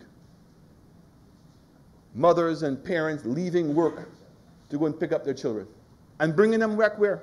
Right back to their workplace. When do we have traffic jams in this country? Because all the parents are rushing to bring their kids to school in the morning. We can't even put in a proper transportation system to be able to deal with that. How are we going to solve those problems? If we look at what UNESCO says we ought to be spending on education, we're not even coming close to that number to meet the, the minimum level. And we all recognize that in order for us to be competitive, that we have to have students at even a higher level. So if the current structure cannot fulfill the needs of St. Lucia, why are we scared to make a change? And what is that change? And how are we going to have that discussion? And you're 100% right. Can't have that discussion amongst ourselves. We have to now reach out to the business community. We have to reach out to all the different NGOs, all the people who are employing people in this country, and find out what that skill set that we have to get, and how are we going to make sure that our curriculum is able to meet that need. You know, the members from the other side keep on pounding away at the idea that these laptops have disappeared. So you gave kids laptops in order to be able to access the internet, but there was no curriculum on the laptop, Mr. Speaker. Absolutely none. I would love you to say that Finland is a bad example. Okay, go ahead. Oh. So we're, we're, we're, you have a government you have a government that was in office for 15 years and they're saying that people are still enslaved. I don't understand. But you see, this is the difficulty I have, Mr. Speaker. My member, my, the member, the honorable member from Laborie, keeps on saying on the other side, finish the hospital.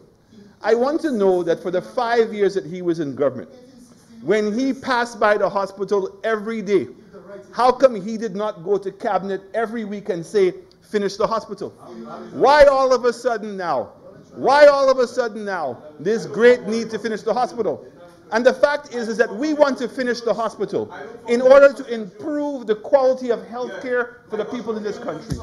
They were interested in finishing the hospital for political gain. They could do nothing. They cannot, they're asking people to do what themselves could not do, Mr. Speaker. And that is, and you know, that is the greatest level of. of Honorable members.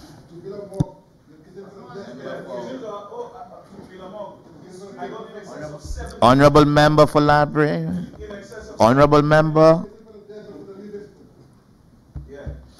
Honorable members, honorable members, it appears, it appears. Honorable member for Laborie.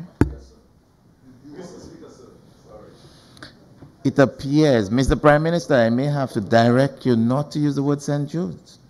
Because whenever the word St. Jude is used, it seems like it brings out.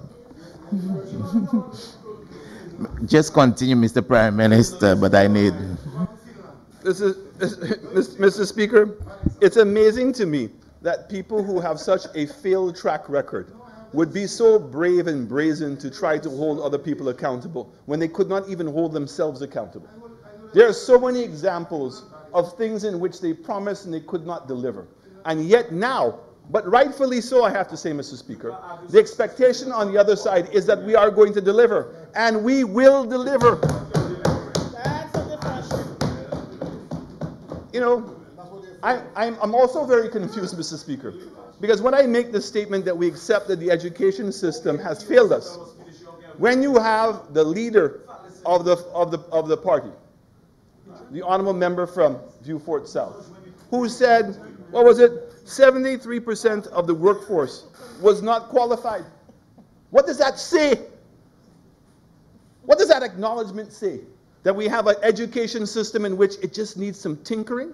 Or we have an education system that has completely failed the people of this country? When I meet young people today, and I meet so many of them who are discouraged, disenchanted, and unmotivated to go to school. Look at Sir Arthur Lewis College. Physically, curriculum, can we say that it's delivering to the people of this country? But guess what? The members on this side, Mr. Speaker, acknowledge the challenge that we have. We do not play the blame game. All we are committed to do, Mr. Speaker, is to fix it. it, is to make it better.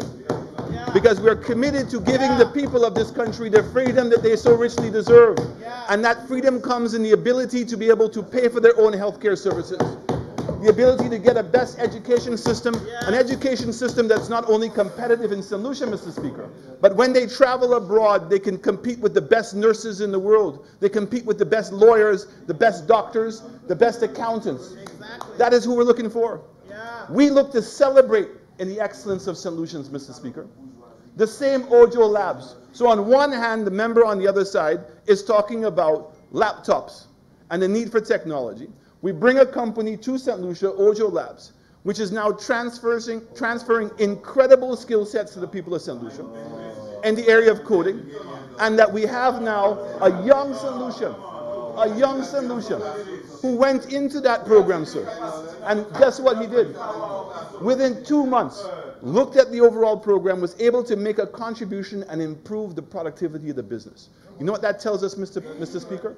There are many more St. Lucians who have that skill set. And what we want to do is we want to develop that skill set. We want to introduce coding at the high school level and coding for afterwards in order to make this thing happen. What we're doing in, in village tourism, Mr. Speaker, in terms of helping entrepreneurs develop in St. Lucia, because we have confidence in the people of St. Lucia and we understand the responsibility that we have, Mr. Speaker, in delivering to the people of St. Lucia. So today, of the $182 million that we're spending in education now, 61% of it is in the form of salaries. And here's the reality they're not getting paid enough. I listened to members on the other side who said I've ridiculed teachers. I've never ridiculed teachers. I celebrate teachers in this country. I hold them up in the highest esteem, the highest esteem. And what I've said is that they're not being paid enough.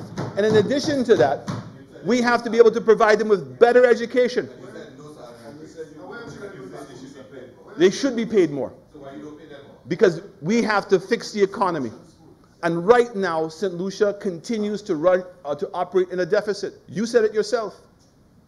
And so those are the things that we have to be able to fix. We have to grow this economy in order to be able to generate the revenues to be able to put into education, to put into healthcare, and to put into the infrastructure.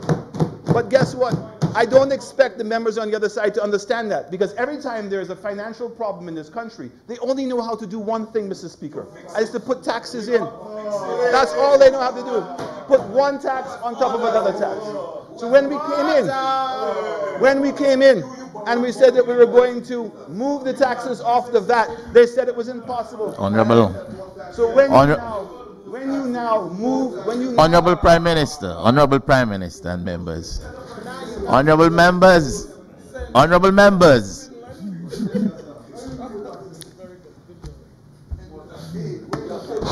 honorable members, I'm not hearing. The, I'm not hearing the member.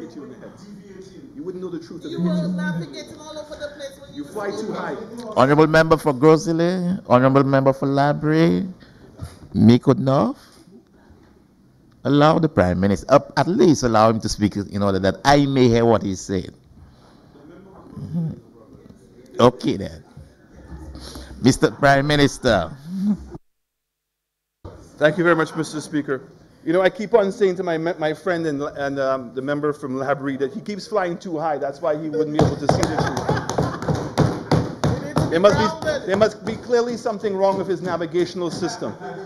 And every day when he was coming up, when he had to be picked up in, in the morning and dropped off in the evening, clearly he never passed by St. Jude to understand that the, ho- the hospital needed to be open. It's amazing to me, Mr. Speaker, that members on the other side who have now accounting to say that they're going, to, they've spent how much? $118 million and counting, and that it's not even 50% completed. I would be ashamed and embarrassed if that happened. That is the greatest, that is the greatest horror that has taken place in this country. And during while they were doing that, to leave the people in the stadium in the conditions they are, and now want to come and talk about that, that the people's lives are being, are being jeopardized. Can you imagine? Amazing, Mr. Speaker. And he's talking about, he's a person who's talking about putting a filing a navigational plan. Where was the navigational plan for St. Jude's? So in fact, if anything, we've taken your advice and we're filing a new flight plan in order to be able to arrive at the destination because the flight plan that you have was just going in the air. I've told the member from, from View from, from Laborie continuously, there's a big difference between spending money and working. They were not, they were not working. They were just spending money. Spending money. Spending money. Okay, and at least on this side, we're going to be accountable to the people of St. Lucia as to how much money we're going to spend. Honorable members. Mr. Speaker. Yes, now. Honorable members, honorable members. I have said to you, I have no issue. I have said that before. I have no issue with the crosstalk. I have none whatsoever. But it's getting too loud. it is getting too loud. I'm wondering now if the recording or if the general public out there is actually hearing what is being said and maybe hearing the the crosstalk. Member for Gros Islet, uh, you have been warned through me by the member of Laborie. Continue, Honorable Prime Minister. Thank you, sir. You know, members on the other side, Mr. Speaker, always continuously um, create stories for their own satisfaction. I heard some of these adjectives that were used to describe how we describe the Labour Party. I want to say categorically, I know of no one who ever used that kind of language to describe because you know what? They did a good enough job of destroying themselves. Nobody had, nobody had to criticize them, Mr. Speaker. But I want to say this to you. When we talk about victimization, when you get into, when you get into office, right? You want another clear example? The same former Minister of Education, where is he working today? Where is he working today? He's working at Sir Arthur. Okay. So he never worked at Sir Arthur Lewis. But I want to know. I want to know that the the present, the current Minister of Education, when she was in opposition, was she ever afforded that opportunity to work for any of the institutions in St. Lucia? A person who had, who had taught at UWI, who had made applications to, to, to, to work, and never happened? And you see, that's the, that's the difference between one, one government and the other government. He, certainly has worked at Lewis while in opposition. Okay?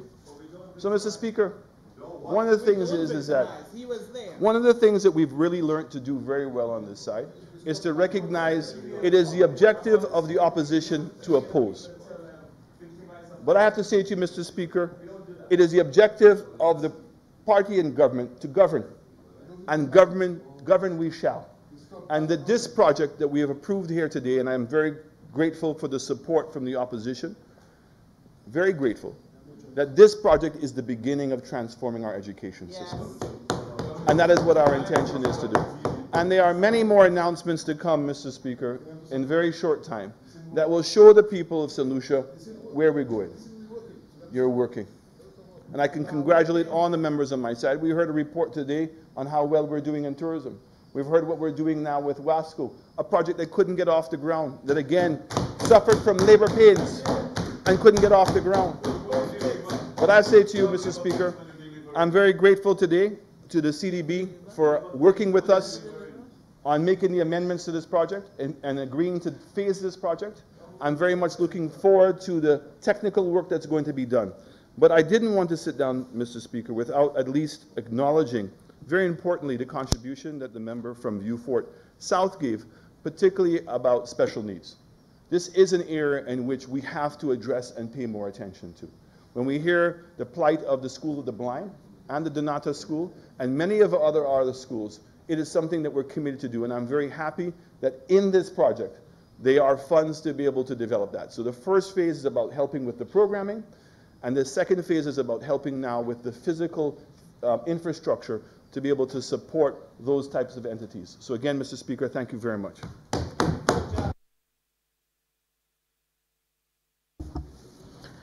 Honorable members, the question is that Parliament authorizes the Minister of Finance to borrow US 16,192,000 from the Caribbean Development Bank for the purposes of financing the St. Lucia Education Quality Improvement Project. And be it further resolved that A, in case of the special funds resources portion, one, the loan is repayable in 80 equal and approximately equal and consecutive quarter, quarterly installments on on each due date of the first day of January, the first day of April, the first day of July, and the first day of October of each year, commencing on the first due date after the expiration of five years following the date of the loan agreement, or on such later due date as the bank may specify in writing. And two, the interest is payable at a rate of 2.5% per annum withdrawn and outstanding on the amount of the special funds resources portion. B, In the case of the ordinary capital resources portion, 1. The loan is repayable in 48 equal or approximately equal and consecutive quarterly, quarterly installments on each due date on the first day of January, the first day of April, the first day of July, and the first day of October of each year, commencing on the first due date after the expiration of, the, of five years following the date of the loan agreement on such later due date as the Caribbean Development Bank may specify in writing. Two, the interest is payable at a rate of 2.97% per annum withdrawn and outstanding on the amount of the ordinary capital resources portion. And three, a commitment charge at the rate of 1% per annum is payable quarterly on the amount of the ordinary capital resources portion unwithdrawn and with accrues and which accrues from the 60th day following the date of the loan. I now put a question. As many as are of that opinion, say aye. As many as are of a contrary opinion, say no. I think the ayes have it. The ayes have it.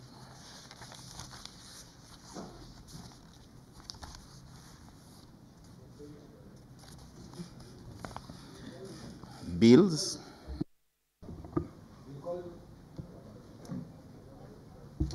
Honorable Minister in the Office of the Prime Minister with responsibility for tourism, information, and broadcasting. Mr. Speaker, I beg to move the first reading of a bill shortly entitled St. Lucia Tourism Authority Amendment Bill. St. Lucia Tourism Authority Amendment. Honorable Minister in the Office of the Prime Minister with responsibility for tourism, information, and broadcasting. Mr. Speaker, I beg to move for the suspension of Standing Order Number 482 to allow the bill to go through its remaining stages at this sitting.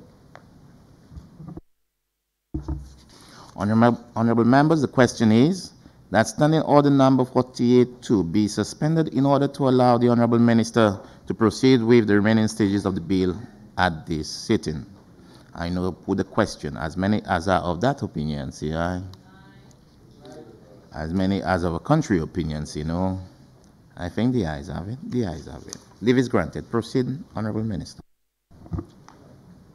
Mr. Speaker, I also beg for the second reading of a bill shortly entitled St. Lucia Tourism Authority Amendment.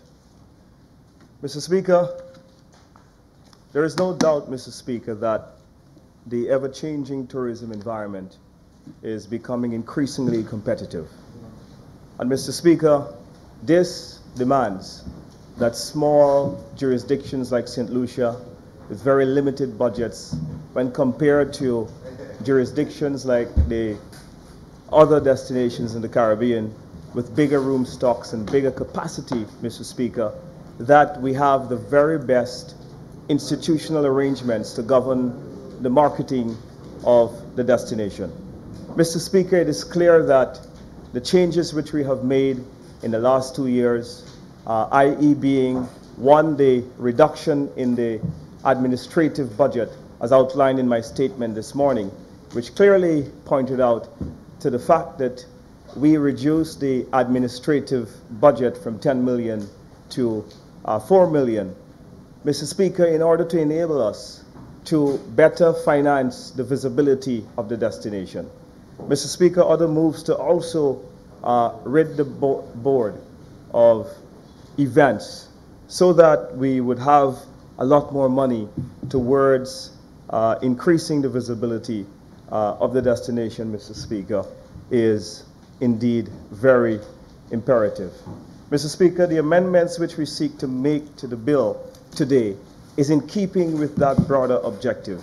And so, Mr. Speaker, as we seek to amend Section 7 of the bill, uh, which in Section 2C, which currently reads uh, in the Primary Act that uh, three persons be nominated by the Hotel and Tourism Associations must be appointed by the Board of Directors uh, by the Minister in writing.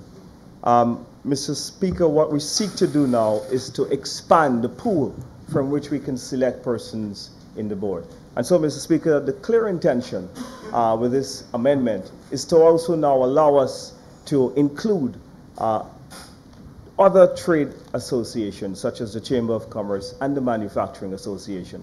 Mr. Speaker, this will widen the pool um, of individuals from which we can choose from and leverage the wealth of um, expertise and intelligence that exist in a number of our trade associations.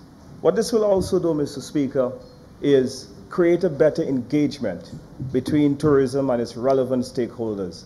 Very often, uh, you find that there's a disconnect and there's not an acute understanding in the other sectors as to the difficulties, the challenges, the opportunities even that the tourism sector may face from time to time.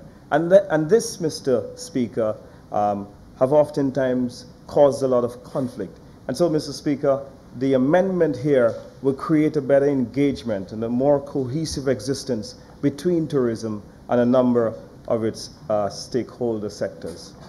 Mr. Speaker, the bill also, the amendment also allow, allow us to depoliticize the uh, board because, Mr. Speaker, it is still in keeping with the primary act where uh, we do um, have a situation whereby the government will appoint four out of seven members. Mr. Speaker, this is a change from the old St. Lucia Tourist Board Act, whereby the minister appointed all 12 of the members. And what you found, Mr. Speaker, were uh, invariably ministers uh, may sometimes oversaddle the board uh, with, with political appointments uh, that may tend to, Mr. Speaker, um, hinder the board from having the best resources on it. And so, Mr. Speaker, uh, this is in keeping uh, with that broader intent.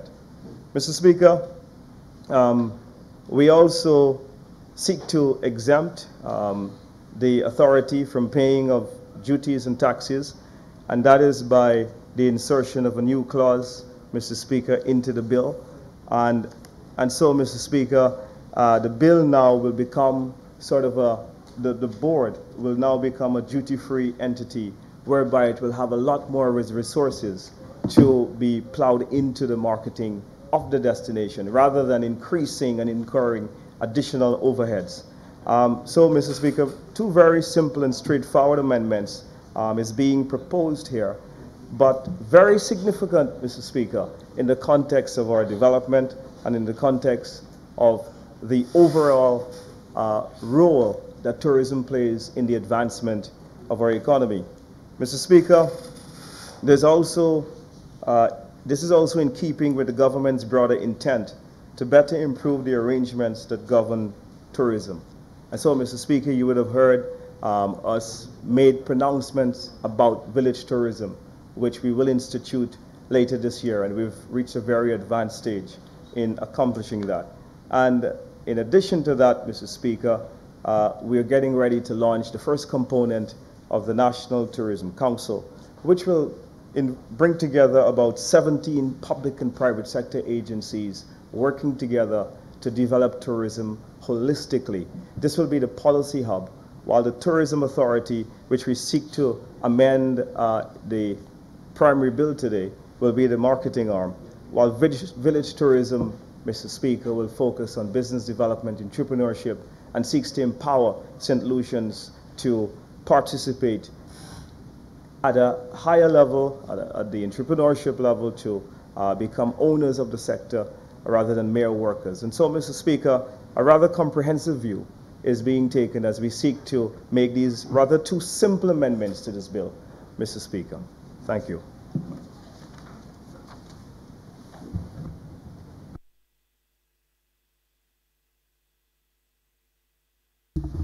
Honorable members, the question is that the St. Lucia Tourism Authority Amendment Bill be read a second time.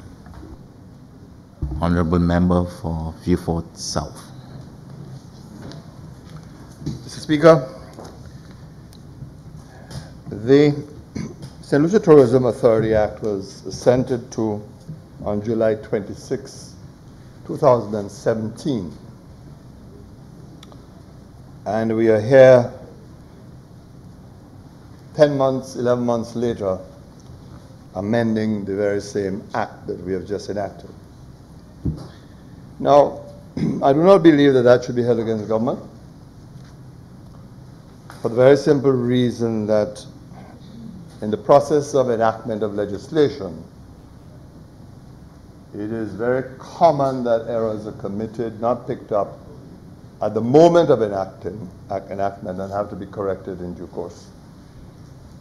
It's a different matter, of course, if in the passage of the legislation that issues were identified to be dealt with, they were ignored, and then you come back based on those submissions and you propose then to make the mistakes, to correct the mistakes which had been pointed out earlier. But I was not present, unfortunately, when this bill was introduced to this House, so did not have a chance to offer any thoughts on the legislation. So, in a sense, this affords a new opportunity to reflect on some of the provisions.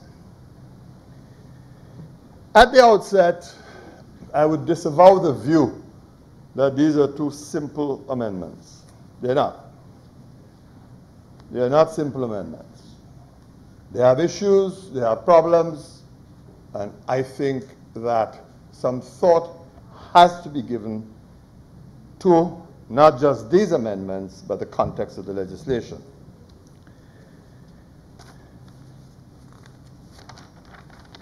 The amending bill says in clause 3 that section 7 of the Principal Act is amended in subsection 2 by deleting paragraph C and by substituting the following. 3 must be persons nominated by primary, one hotel and tourism associations and trade associations. And of course, the very language destroys the minister's argument that the intention is to depoliticize the, the process of appointment because the harsh and clear reality is that they're nominations to the minister. And if you're being nominated for appointment, then the minister has a discretion whether you accept or not accept the, the nominees. But we can put that on the side for the, for the time being. The problem starts off with language. It says three must be persons nominated by primary hotel and tourism association. And that word, of course, appears in the original bill in section 7 because it also speaks of primary hotel and tourism associations. What, what is a primary hotel and tourism association? Who are these primary hotel and tourism associations. You search in vain in the definition section for a definition of the word primary, but you do not find it. And perhaps, Mr. Speaker, just to elucidate a little, a little better by using some personal experience. You know, Mr. Speaker, sometimes Parliament does things and Parliament ascribes a, mean, a meaning to what it does. But the courts may interpret what Parliament has done in a different way to what Parliament had intended. And I can tell you, it is not a very pleasant experience to appear before a judge when you are first-hand witness to passage or enactment of laws and you know what the intention of Parliament was, but a judge gives a different interpretation to what is enacted. So when we enact legislation, we have to be exceptionally careful and be clear in our minds that what we intend as lawmakers is what the courts understand and the courts apply. And so for that reason, I am not so sure that the word primary has any place. And I note with interest the inclusion of what is described as trade associations. What, what, what, what, are trade associations? What are we referring to? Are we referring to organizations who use, use the word trade? I don't know, honorable member, whether you remember specific trade associations. What are we talking about? Why the looseness and the lack of precision? I, I really want to suggest that this proposal be revisited and recast so that we identify precisely what we are trying to say. If it is that you're talking about the Hotel and Tourism Association or the small ho ho hotel association, then say so. If you're talking about a trade association, what association, then say so. Otherwise, this is cast at sea and it is left rather loose. Similarly, we see in the amendment section, and I'm looking at clause 3, paragraph C, it says in subsection 4 by deleting the words the primary hotel and tourism associations and by substituting the words the relevant. That is fine because in that sense the relevant association takes its color from um, the associations named or identified before. So I, I really would want to suggest that this be revisited notwithstanding notwithstanding what um, the minister is suggesting. Then the inclusion of a clause 36A is highly debatable. It says, notwithstanding a provision in any law in St. Lucia, the authority is exempt from the payment of any taxes and duties. That has always been a vexed provision. Because I remember we met it in Parliament when we enacted new legislation attempting to grant concessions to new hotels. This, this, this piece of legislation that I believe reference was being made to earlier on. The question here is this. When we use payment of any taxes and duties, what do we mean? Do we include VAT? Does that language include VAT and is it intended to give an exemption for VAT as well? The reason why this is important, Mr. Speaker, is this. The people in the VAT office will tell you that it does not and cannot include VAT because VAT is a special act and the VAT Act itself has to be amended to grant the concessions on VAT. And on reflection over the years, in fact, I'll be very honest and say, when that argument was presented to me, in the end, I had accepted that argument that the way we should have gone with that act granting new concessions was ready to go and amend that act. Somehow it fell through the cracks and was not done. So, Mr. Speaker, somehow, Mr. What is it now? What he has again? And, yes, Mr. MBA, somehow it fell through the cracks. So, Mr. Speaker, I would want to suggest that that provision be re-examined to minimize the potential for conflict. It may mean that Parliament may have to make the amendment effective by amending, by granting the concession specifically under the VAT legislation because of the way the VAT Act is drafted. Now, Mr. Speaker, that being said, I believe that this, uh, the opportunity should have been taken to clean up this act.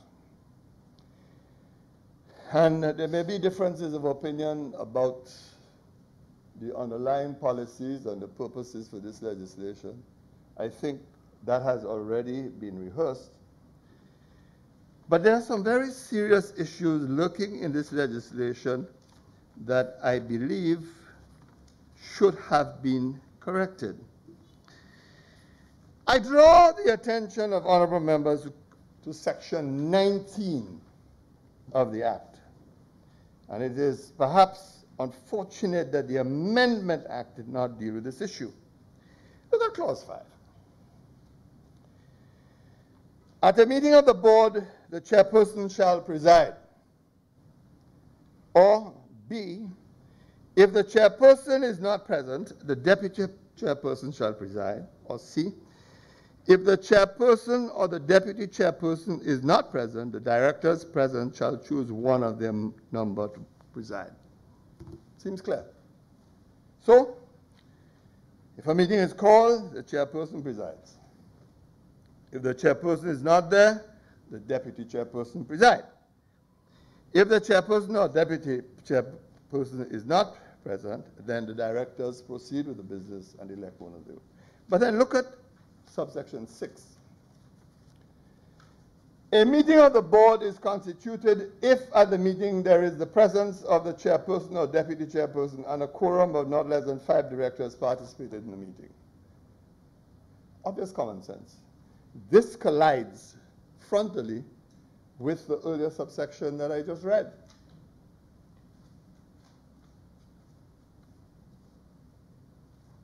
And there's no escaping because 5 says if you have a meeting, the chairperson shall preside.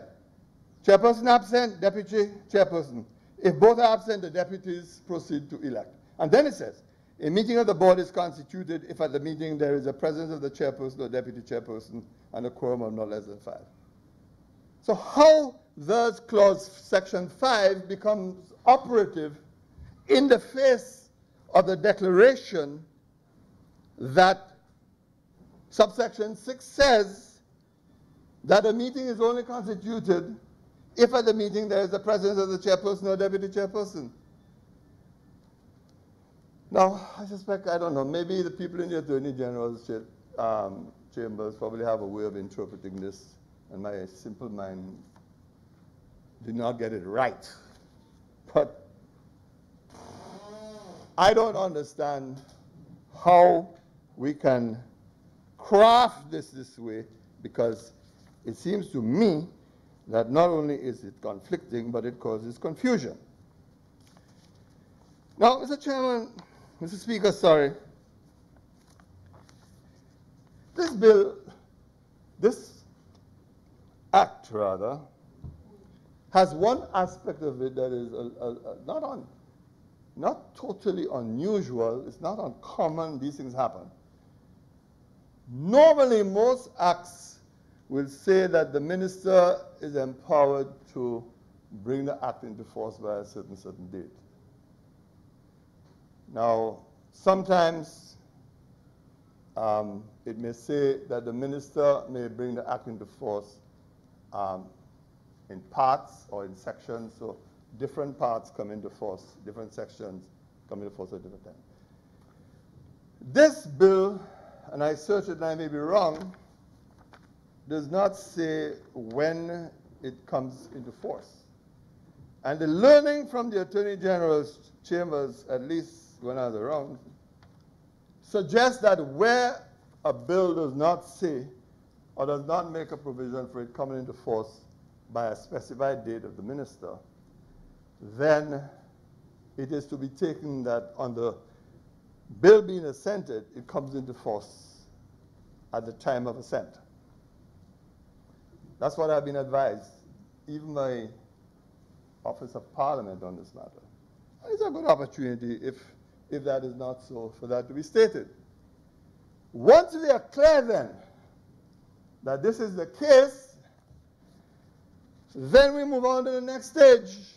The question, therefore, is is this authority in effect and has it successfully repealed the old Tourism Act?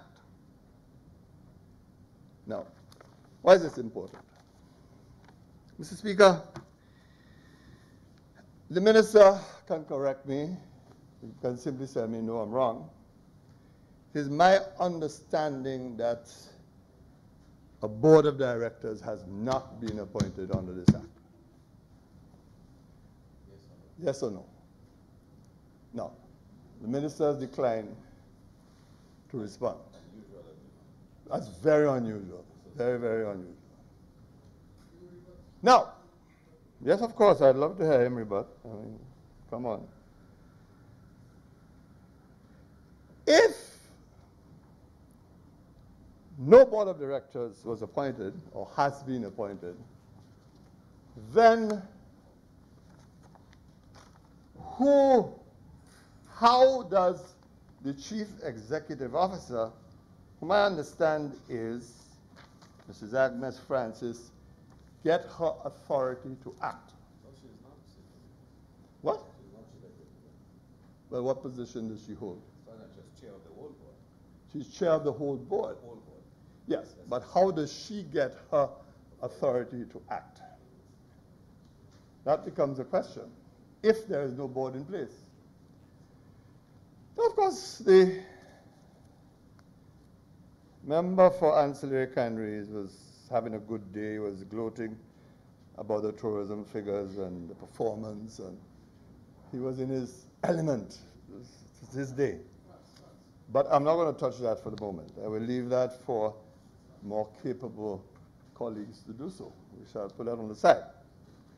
I'm more interested in the legal, I'm more interested in the legal um, dynamics of this, of this legislation. The question is, if there is no board, how then is expenditure authorized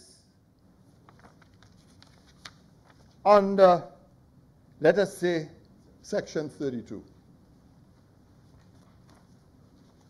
Who gives the chairman of a non-existent board the authority to engage in expenditure?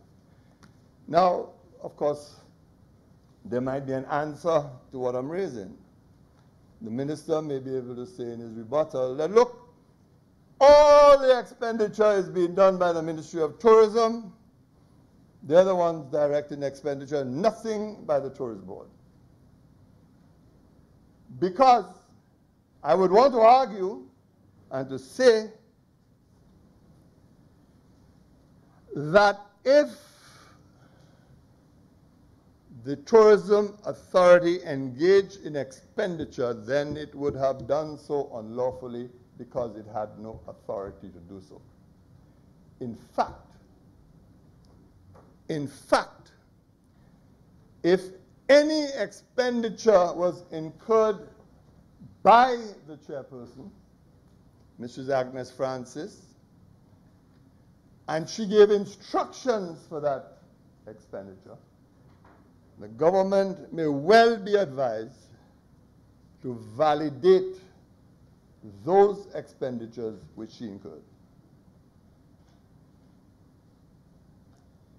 Because they would have occurred in the absence of a board that the legislation itself had authorized.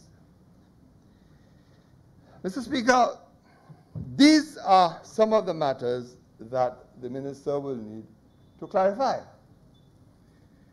And in all sincerity, well, I better don't use that word because you can't use a kind word, you know.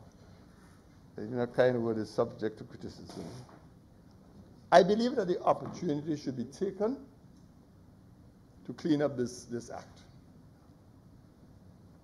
I really believe the opportunity should be taken to clean up this act. To come back to Parliament, resolve the conflicts between various sections, um, validate um, the expenditures, clarify and clean up the drafting of the very clause 7 that we are supposed to be, to be amending.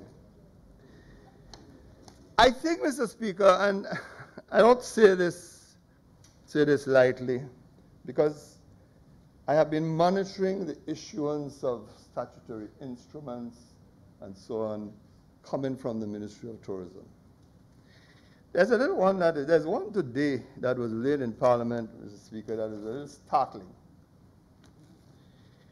And maybe not so startling because, not solely because of what it does and what it gives, but because of the legal authority that is cited for it.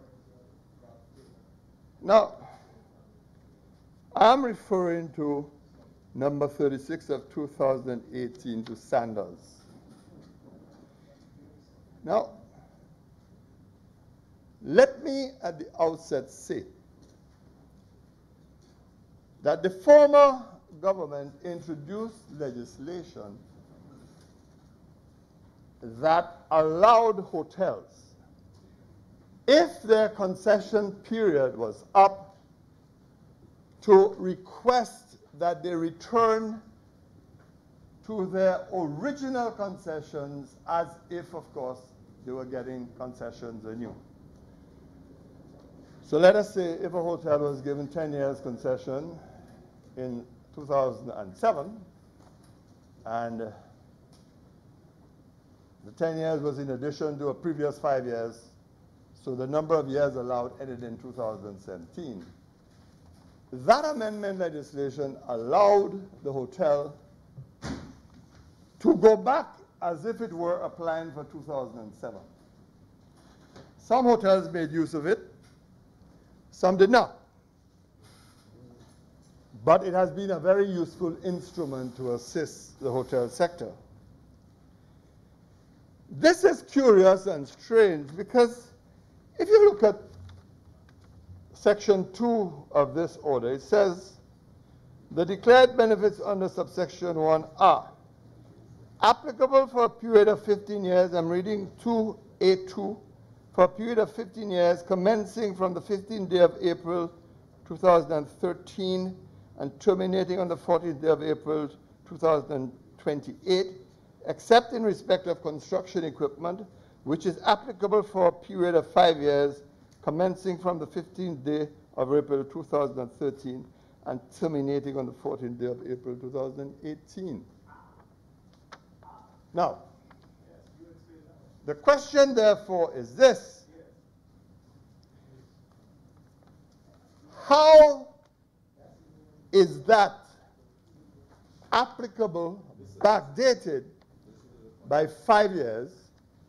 And yet, if you look at the exercise of the powers, it says, in exercise of the powers conferred under sections 3, 5, and 13 of the Tourism Incentives Act, Chapter 1530, the minister responsible for tourism, with the approval of cabinet, makes this order. Where in this act does that authority exist to do this? You can only do this if, of course, you turn to the amending act and decided to backdate the concessions in accordance with that amending act. Now, I'm saying this, Mr. Speaker, to simply make a point that there's a certain amount of carelessness that is occurring with some of these instruments, especially as it pertains to the hotel sector. And there is enough room under existing legislation to maneuver. Because if you want to backdate concessions of a hotel, you can do so by using that Amendment Act to take you back there. Not by using the traditional powers. Not by using the traditional powers. And of course, you can ask, you can ask further questions about this because you can ask questions about, well, if you're talking about construction equipment, um, how come you are coming back to 2013 for construction equipment? Presumably, the construction has taken place. So these are issues that needs to be to be resolved. So, Mr. Speaker, I am just making some simple points. First,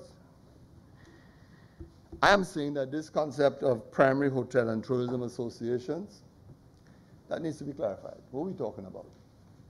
Are we talking about the St. Lucia Hotel and Tourism Association, the small business, the small, um, small hotels? Who are we talking about?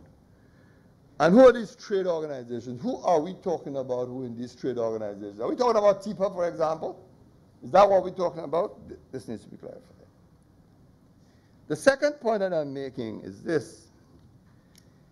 If this act is in effect and there is no board, how then does the current chairperson of the board get the authority to exercise expenditure if, if she hasn't been given that, being given that authority or approval. How did that happen, given the fact that a board should have been in place to do this? The third point, Mr. Speaker, is this the obvious collusion and conflict between some sections of the Act, particularly sections 5 and 6. Now, I don't sense that the members of this side, clearly, would want to stand in the way of amendments to this piece of legislation. It is just clearly saying that there's too much imperfection in this and this needs to be cleaned up. This really, really needs to be cleaned up. In time, of course, when the board becomes operational, I'm certain that other defects will emerge because there are bound to be defects in this, structural defects. But today is not the day for that, especially with you know, some of the respective powers. But we leave that alone for the time. So, Mr. Speaker, I, I simply want to suggest that maybe the, the, the minister should come and wheel again. Take this, go and clean it up, and come back to Parliament with a clean copy, resolving all these deficiencies, and let's have a debate on a new amendment bill. Well, the leader of the opposition has spoken. He says that will never happen. I interpret that to mean, well, they may attack me, but what is this? Like water of a duck's back. I'm accustomed to that. Now, how many years is that? 20 years? I'm the most seasoned politician when it comes to attacks. Doesn't matter. So, but I suspect the leader of the opposition is preparing for um, an interesting debate, and perhaps you prefer to see the debate this evening. But, Mr. Speaker, this is too imperfect for Parliament to approve. I thank you, Mr. Speaker.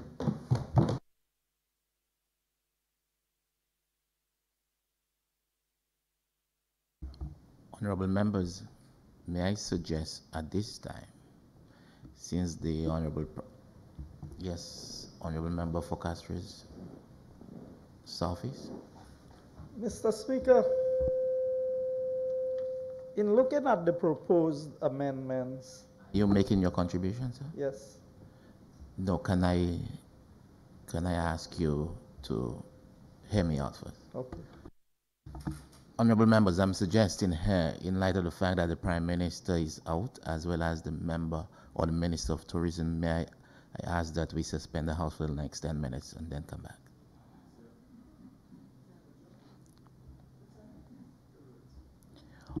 Honorable members, the question is that this House be suspended for 10 minutes. I now put a question, as many as are of that opinion, say aye. As many as are of a contrary opinion, say no. I think the ayes have it. The ayes have it. House is suspended for the next 10 minutes.